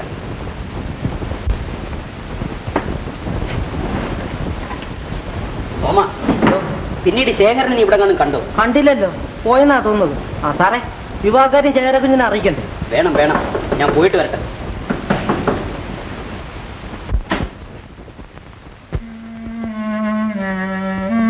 സാറ് തിരക്കേടില്ലല്ലോ. ഇവിടെ കയറി കുളിയും ഡ്രസ്സും മറ്റും നടത്തിക്കൊണ്ടിരുന്നാലേ എന്ന് മോലാളി അങ്ങോട്ട് ചിലപ്പോ വഴക്ക് പറയും. താൻ ആരാ? വലിയ ആളുകൾക്ക് അല്ലേ ഇതൊരു പതിവാ മറ്റുള്ളവരെ കളിയാക്കുക എനിക്ക് പോകാൻ ധൃതിയുണ്ട്. അതിന് ഞാനെന്ത് വേണം മിസ്റ്റർ? എനിക്കും പോകാൻ ധൃതിയുണ്ട്. വെറുതെ മനുഷ്യരെ ബുദ്ധിമുട്ടിക്കാതെ കാര്യം എന്താണെന്ന് പറയും. തിരക്കേടില്ല ഇതിന് ഞാൻ വല്ലതും പറഞ്ഞാലേ കുറച്ച് കടന്നു പോകും. ഈ തമാശയൊക്കെ അങ്ങ് വെച്ചേ ഞാൻ പോകട്ടെ. എന്താണ് മനുഷ്യ? സാറിന് പോകാൻ കാര്യം എന്താണെന്ന് വെച്ചാ പറ. അവൻ പറയണ്ട. എങ്ങോട്ടെ? എന്റെ രൂപ വന്നിട്ട്. ഏത് രൂപയിടും? എനിക്ക് കിറുക്കുണ്ടോ? മര്യാദയ്ക്ക് മാറി നിൽക്കും. ഇല്ലെങ്കിൽ തന്നെ പോലീസിൽ ഏൽപ്പിക്കും. ഇതേതായാലും പോലീസ് ചെന്നിട്ട് അവസാനിക്കും ലക്ഷണം കണ്ടിട്ട്. നെക്ലസിന്റെ രൂപ ഒരാൾ ഒരാടി മുമ്പോട്ട് വയ്ക്കാനൊക്കെ ഇല്ല നെക്ലസ് നിങ്ങൾക്ക് ആൾ തെറ്റിപ്പോയതായിരിക്കും. ഞാൻ നിങ്ങളോടൊന്നും വാങ്ങിച്ചിട്ടില്ല. നിങ്ങൾ ബാബു തന്നല്ലോ ഞാൻ ബാബു തന്നെ. പക്ഷെ നിങ്ങളോട് നെക്ലസ് മേടിച്ചു. തീർച്ചയാണോ? തീർച്ച തന്നെ എങ്കിൽ നമുക്കത് പോലീസ് തീരുമാനിക്കാം. വന്നോട്ടെ. എനിക്ക് സൗകര്യപ്പെടും. ഞാൻ സൗകര്യപ്പെടുത്താം. അതിനാണോ വിഷമം? ഇത് വെള്ളരിക്കപ്പെടണമെന്നല്ല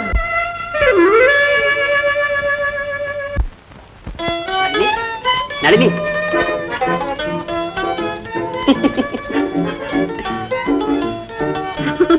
ഓ ചിരിക്കുന്നു. കൊച്ചു കള്ളി. എനിക്കിത് വലിയ ഇഷ്ടമാണ് അമ്മേ അമ്മേ. എന്തിനാടി? ഇങ്ങോട്ട് വന്നേ അമ്മേ. ഇതിന് എത്ര രൂപയായി? എന്തിനാ ഇപ്പൊ വില അറിയുന്നത് അയ്യോ ഇതിന് പത്തഞ്ഞൂറ് രൂപ ആയി കാണുമല്ലോ അതിന്റെ കല്ലിന് മാത്രം അയ്യായിരം രൂപ വിലയാണ്. ആണോ? എന്നാ കയ്യോടെ കൊണ്ട് പെട്ടി വെച്ചേരും മോളെ. അമ്മേ ഇത് കഴുത്തലിടാനുള്ളതാ. എന്നെ ആദ്യം അഹങ്കരിക്കരുത് പറഞ്ഞേക്കാം. ഇതൊക്കെ എന്റെ ഗുണമാണെന്ന് ഓർത്തോണം. നീ പോയി കാപ്പി കൊണ്ടുവാ ചെല്ലേ ഇരിക്കൂ നീ കുഞ്ഞിനോട് എനിക്കൊരു കാര്യം പറയാനുണ്ട്. ഈ പണം ഒന്നും അങ്ങനെ കണ്ടമാനം ചിലവാക്കി ഇതൊക്കെ ഒരു നിസ്സാര ചെലവല്ലേ? വരുന്നടി.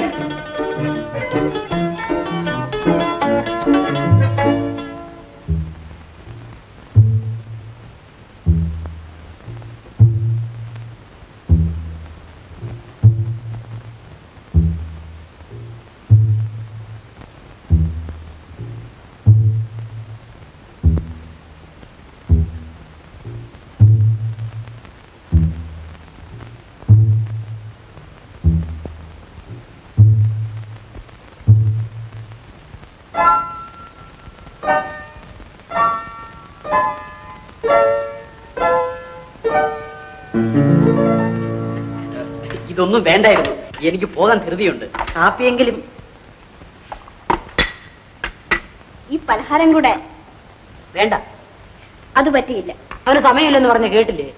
ആ ഈ മാലയുടെ കല്ല്. അയ്യോ കല്ലോ.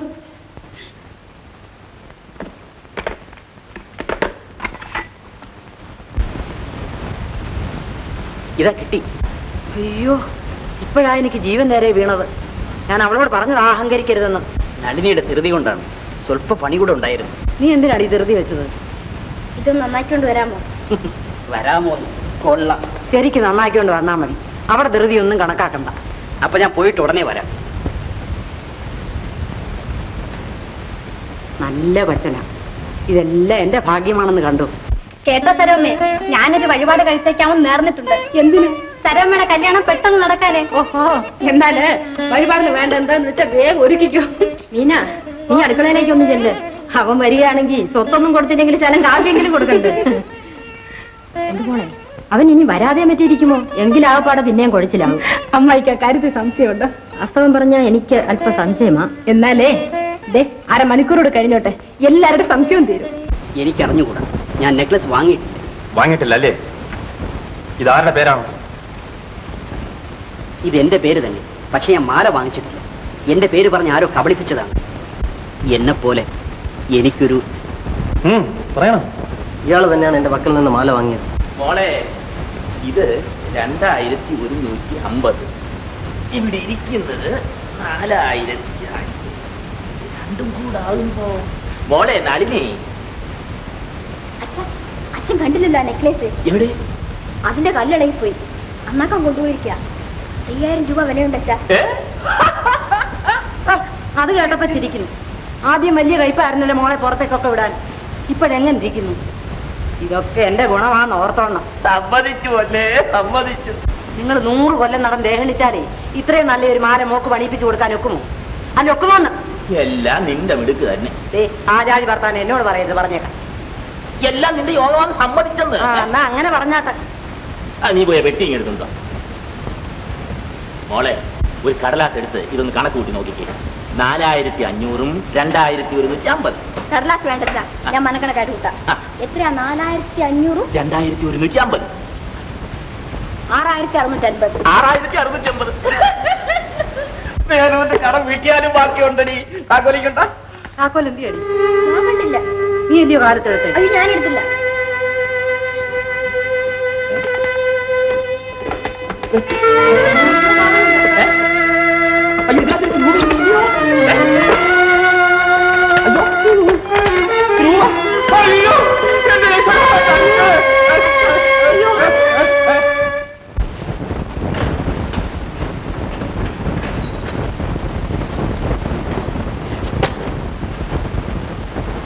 ഇതാ പണം. നമ്മളുടെ പ്ലാനെല്ലാം ഏകദേശം പറ്റി. ഇനി ഇവിടെ താമസിക്കുന്നത് ആപത്താണ്. ഉടനെ സ്ഥലം വിടണം. നമ്മുടെ പഴയ മലങ്കോട്ടയുണ്ട് തൽക്കാലം ഒളിക്കാൻ. അവിടെയാണെങ്കിൽ ആരും കണ്ടുപിടിക്കുകയില്ല. പക്ഷേ ചെന്ന് പറ്റാനാണ് വിഷമം. അതിന് ഞാൻ വഴി കണ്ടുവച്ചിട്ടുണ്ട്. ഇനി ഞാൻ ആ മുതലാളിയോട് എന്തോ പറയും. ഇവിടെ ആരാ വന്നേ? ഇവിടെ ആ ശേഖരൻ കുഞ്ഞല്ലാതെ മറ്റാരും വന്നില്ല. നിങ്ങൾ എന്ന് പോലീസിൽ അറിയിക്കും. നിങ്ങൾക്ക് പറയാൻ അറിയാൻ മേലയിൽ ആ ശേഖരൻ കുഞ്ഞിനോട് പറ. അവൻ വിചാരിച്ച അതിനൊരു പോംവഴി ഉണ്ടാകും അദ്ദേഹം വരാമെന്ന് പറഞ്ഞിട്ട് ഇതുവരെ കണ്ടില്ലല്ലോ അമ്മേ. ആദ്യം പറഞ്ഞതിന്റെ കൂട്ടം.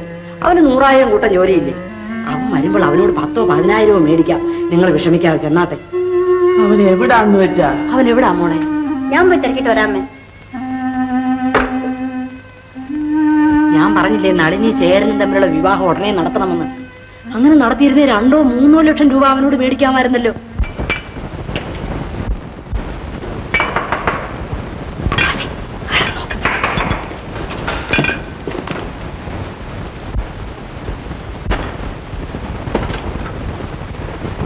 ആഹാ നീയാണ്? ഞാൻ വിചാരിച്ചു. ഇവിടെ എന്തെടുക്കാണ് ഞങ്ങൾ കാത്തിരുന്ന് മടുത്തല്ലോ.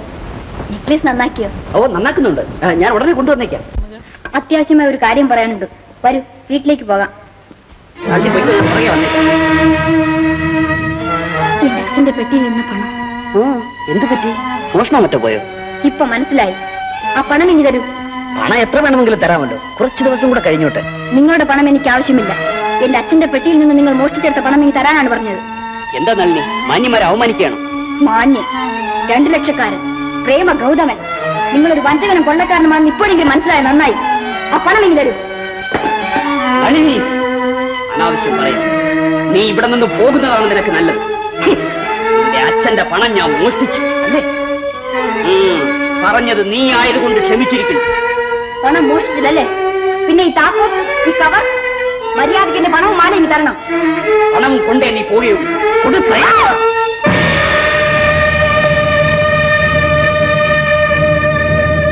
എന്താ അവൾ പിണങ്ങിയാണോ പോകുന്നത്? പോയച്ചു വരട്ടെ. അവൾ എങ്ങാനും പോലീസിൽ പോയി വിവരം അറിയിച്ചാൽ? ഛേ അതൊന്നും ഉണ്ടാവില്ല. ഞാൻ നോക്കിട്ട് വരട്ടെ.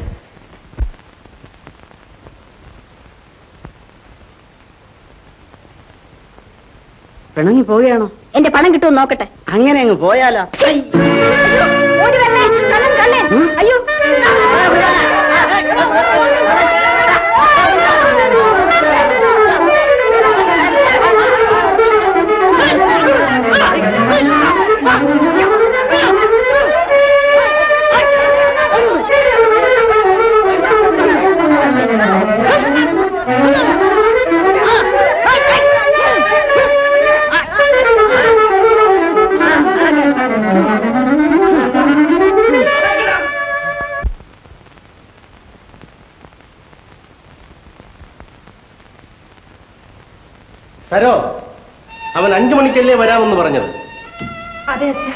മണി അഞ്ചേകാൽ കഴിഞ്ഞല്ലോ. ബാബു തീർച്ചയായിട്ടും വരും അച്ഛ. അവൻ വരിയില്ല മോളെ. ആട്ടെ വന്നില്ലെങ്കിൽ നിനക്ക് വിശ്വസിക്കാമോ? അവൻ കള്ളരാണെന്ന് ഞാൻ പോയി ഒന്ന് അന്വേഷിച്ചിട്ട് വരട്ടെ അച്ഛ. ഓഹോ അന്വേഷിച്ചതുകൊണ്ട് യാതൊരു പ്രയോജനവുമില്ല. വയ്ക്കോ വയ്ക്കോ എനിക്ക് വിരോധമൊന്നുമില്ല. ഈ നിൽക്കുന്ന മിസ്റ്റർ ബാബു ഞാനും ഞങ്ങളുടെ മേലധികാരിയെ കണ്ടിട്ട് ഉച്ചയ്ക്കാണ് മടങ്ങിയത് അദ്ദേഹം വേറെ എങ്ങും പോയിട്ടില്ല. അതിന് ഞാൻ എത്ര സാക്ഷികൾ വേണമെങ്കിലും ഹാജരാക്കാം. ഇതെല്ലാം ഒരു കൂട്ട് കമ്പനിയാണ് യജമാനെ.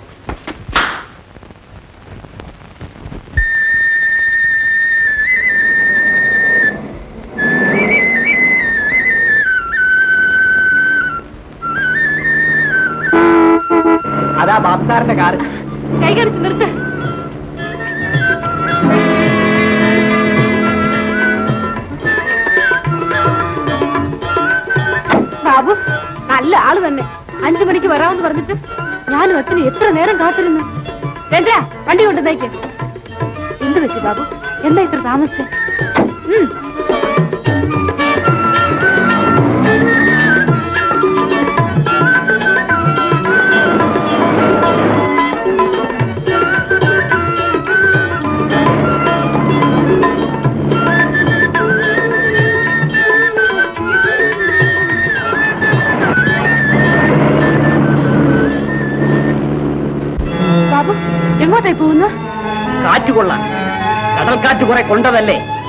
മലങ്കാറ്റ് കുറെ കൊള്ളാം. എനിക്കൊന്നും മനസ്സിലാകുന്നില്ല എല്ലാം മനസ്സിലാകും.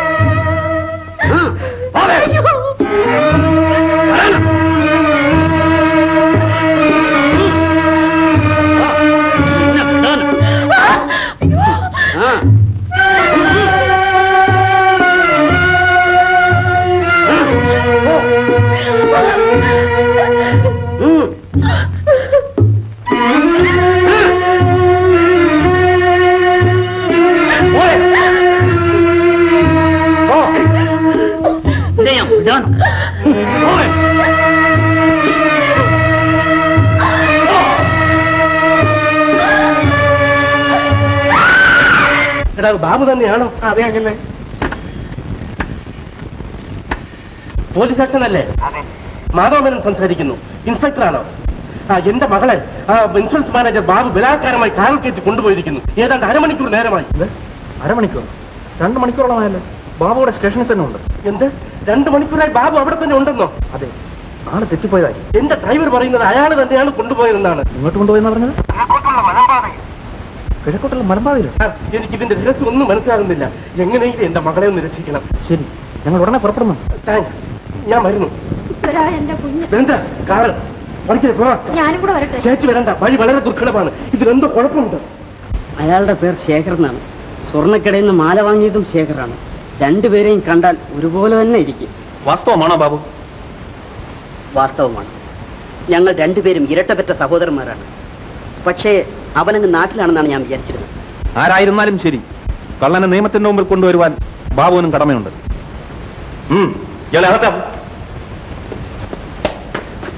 നിങ്ങൾക്ക് പോകാം. ആവശ്യപ്പെടുമ്പോൾ പറഞ്ഞേ ഇയാളെ നാളെ വരും.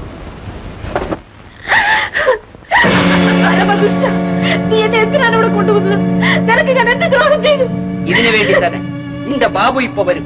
നിന്റെ ബാബു വന്ന് ഈ മാല വീണ്ടും വാങ്ങിത്തരും. നീ അവിടെ കിടക്ക്.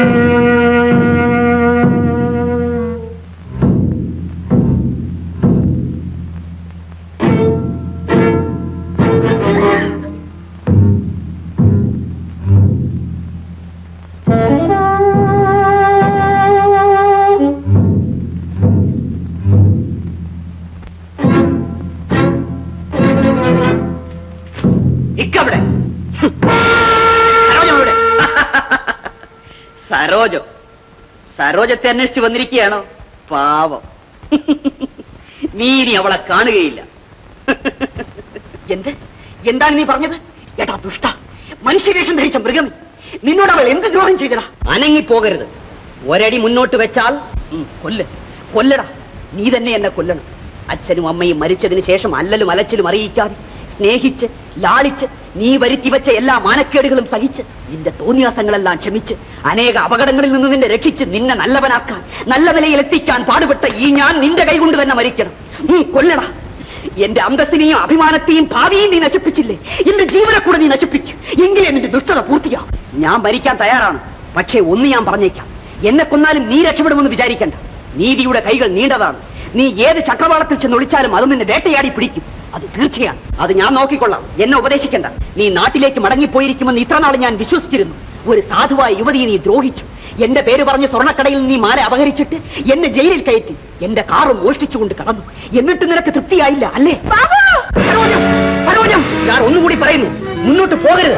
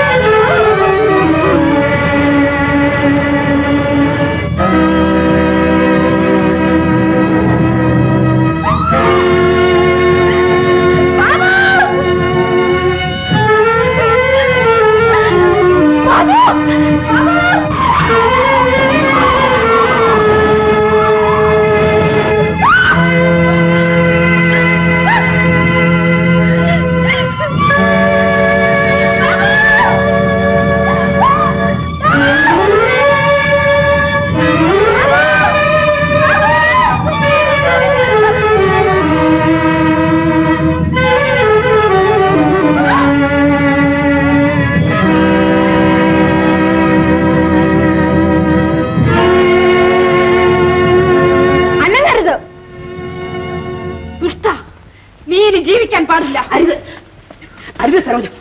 അരുത് ക്ഷമിക്കണം ചേട്ടാ. എന്റെ അറിവില്ലായ്മ കൊണ്ട് ചെയ്തു പോയതാണ്. മാപ്പ് മാപ്പ്. മാപ്പല്ല. കഴുകു മറമാണ് നിനക്ക് പറ്റിയത്. ഇല്ല സരോജ. ക്ഷമിക്കൂ. എന്തൊക്കെ ആയാലും അവൻ എന്റെ സഹോദരനല്ലേ. ഞാൻ അവന് വേണ്ടി നിന്നോട് മാപ്പ് ചോദിക്കും. ശേഖര ഞാൻ ഇതേവരെ നിനക്ക് ഒരു ദ്രോഹവും ചെയ്തിട്ടില്ല. ഇനി ചെയ്യുന്നുമില്ല. നീ നല്ലവനാകാൻ നോക്ക്. അതാണ് നിനക്ക് നല്ലത്.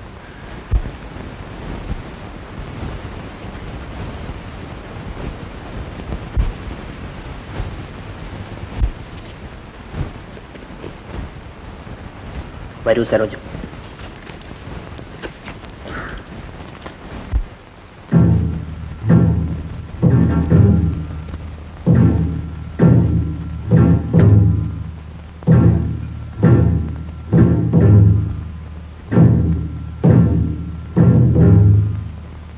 എല്ലാം ഒരു ഭയങ്കര സ്വപ്നം പോലെ തോന്നുന്നു.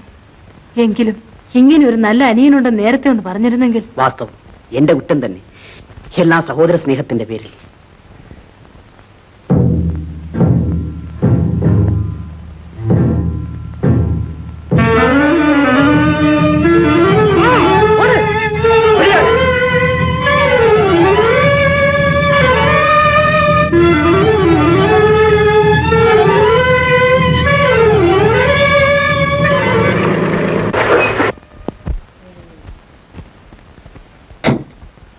ഇത് എന്നോടാ സ്ഥലം. അതെ അങ്ങനെ. ഈശ്വര എന്റെ കുഞ്ഞ്.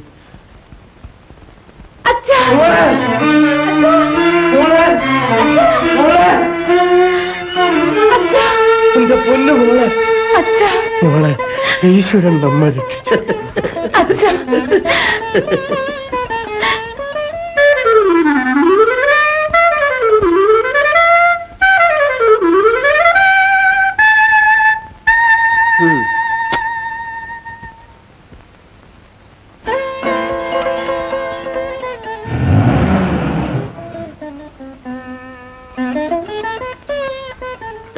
പൂത്താലി. എനിക്കെല്ലാം മനസ്സിലായി. ബാബു എനിക്ക് മാപ്പ് തരണം. ഇനി ഏതായാലും താമസിക്കണം ബാബു തന്നെ ഈ പൂത്താലി ഇതാ ഇവളുടെ കഴുത്തിൽ കെട്ടി. ഇനി കരഞ്ഞുകൊണ്ട് എന്ത് ഫലം മോളെ? അനുഭവിക്കാനുള്ളത് അനുഭവിക്കാതെ പറ്റുമോ? ഇതൊക്കെ നിന്റെ വിധിയാണെന്ന് കരുതിക്കും. അല്ലടി നിന്റെ യോഗമാണ് ഈ യോഗം അവന്റെ രണ്ടു ലക്ഷം. അന്നേ ഞാൻ പറഞ്ഞതാ. പെണ്ണിനിങ്ങനെ അടിച്ചു കിട്ടും ചുറ്റുവിളിയില്ല തോന്നിയാസത്തിന് വിതരതേ എന്ന് അവൾ വിദ്യാഭ്യാസം പഠിച്ചത്. ദേ തള്ള പെറ്റ് തന്ത വളർത്തണം മക്കളെ എന്നാ പ്രമാണം. അച്ഛൻ പറഞ്ഞത് കേട്ടിരുന്നെങ്കിൽ ഇങ്ങനെ ഒന്നും വരത്തില്ലായിരുന്നു. ആ പെഞ്ചൽ കേൾക്കുന്നതിന് വയ്യാധാരം ഒന്ന് കേട്ടിട്ടേ ഉള്ളൂ. ഇപ്പോഴെനിക്ക് അത് പറ്റിയത്. വരാനുള്ളത് വഴി തങ്ങും. നിങ്ങൾ ഇങ്ങനെ കുത്തിയിരുന്ന സമയം എനിക്കെടുത്താവും വല്ല തേയില കച്ചവടത്തിനും പോണം. അത് മോശം. നിന്റെ രണ്ടു ലക്ഷം വരട്ടെ. ആ.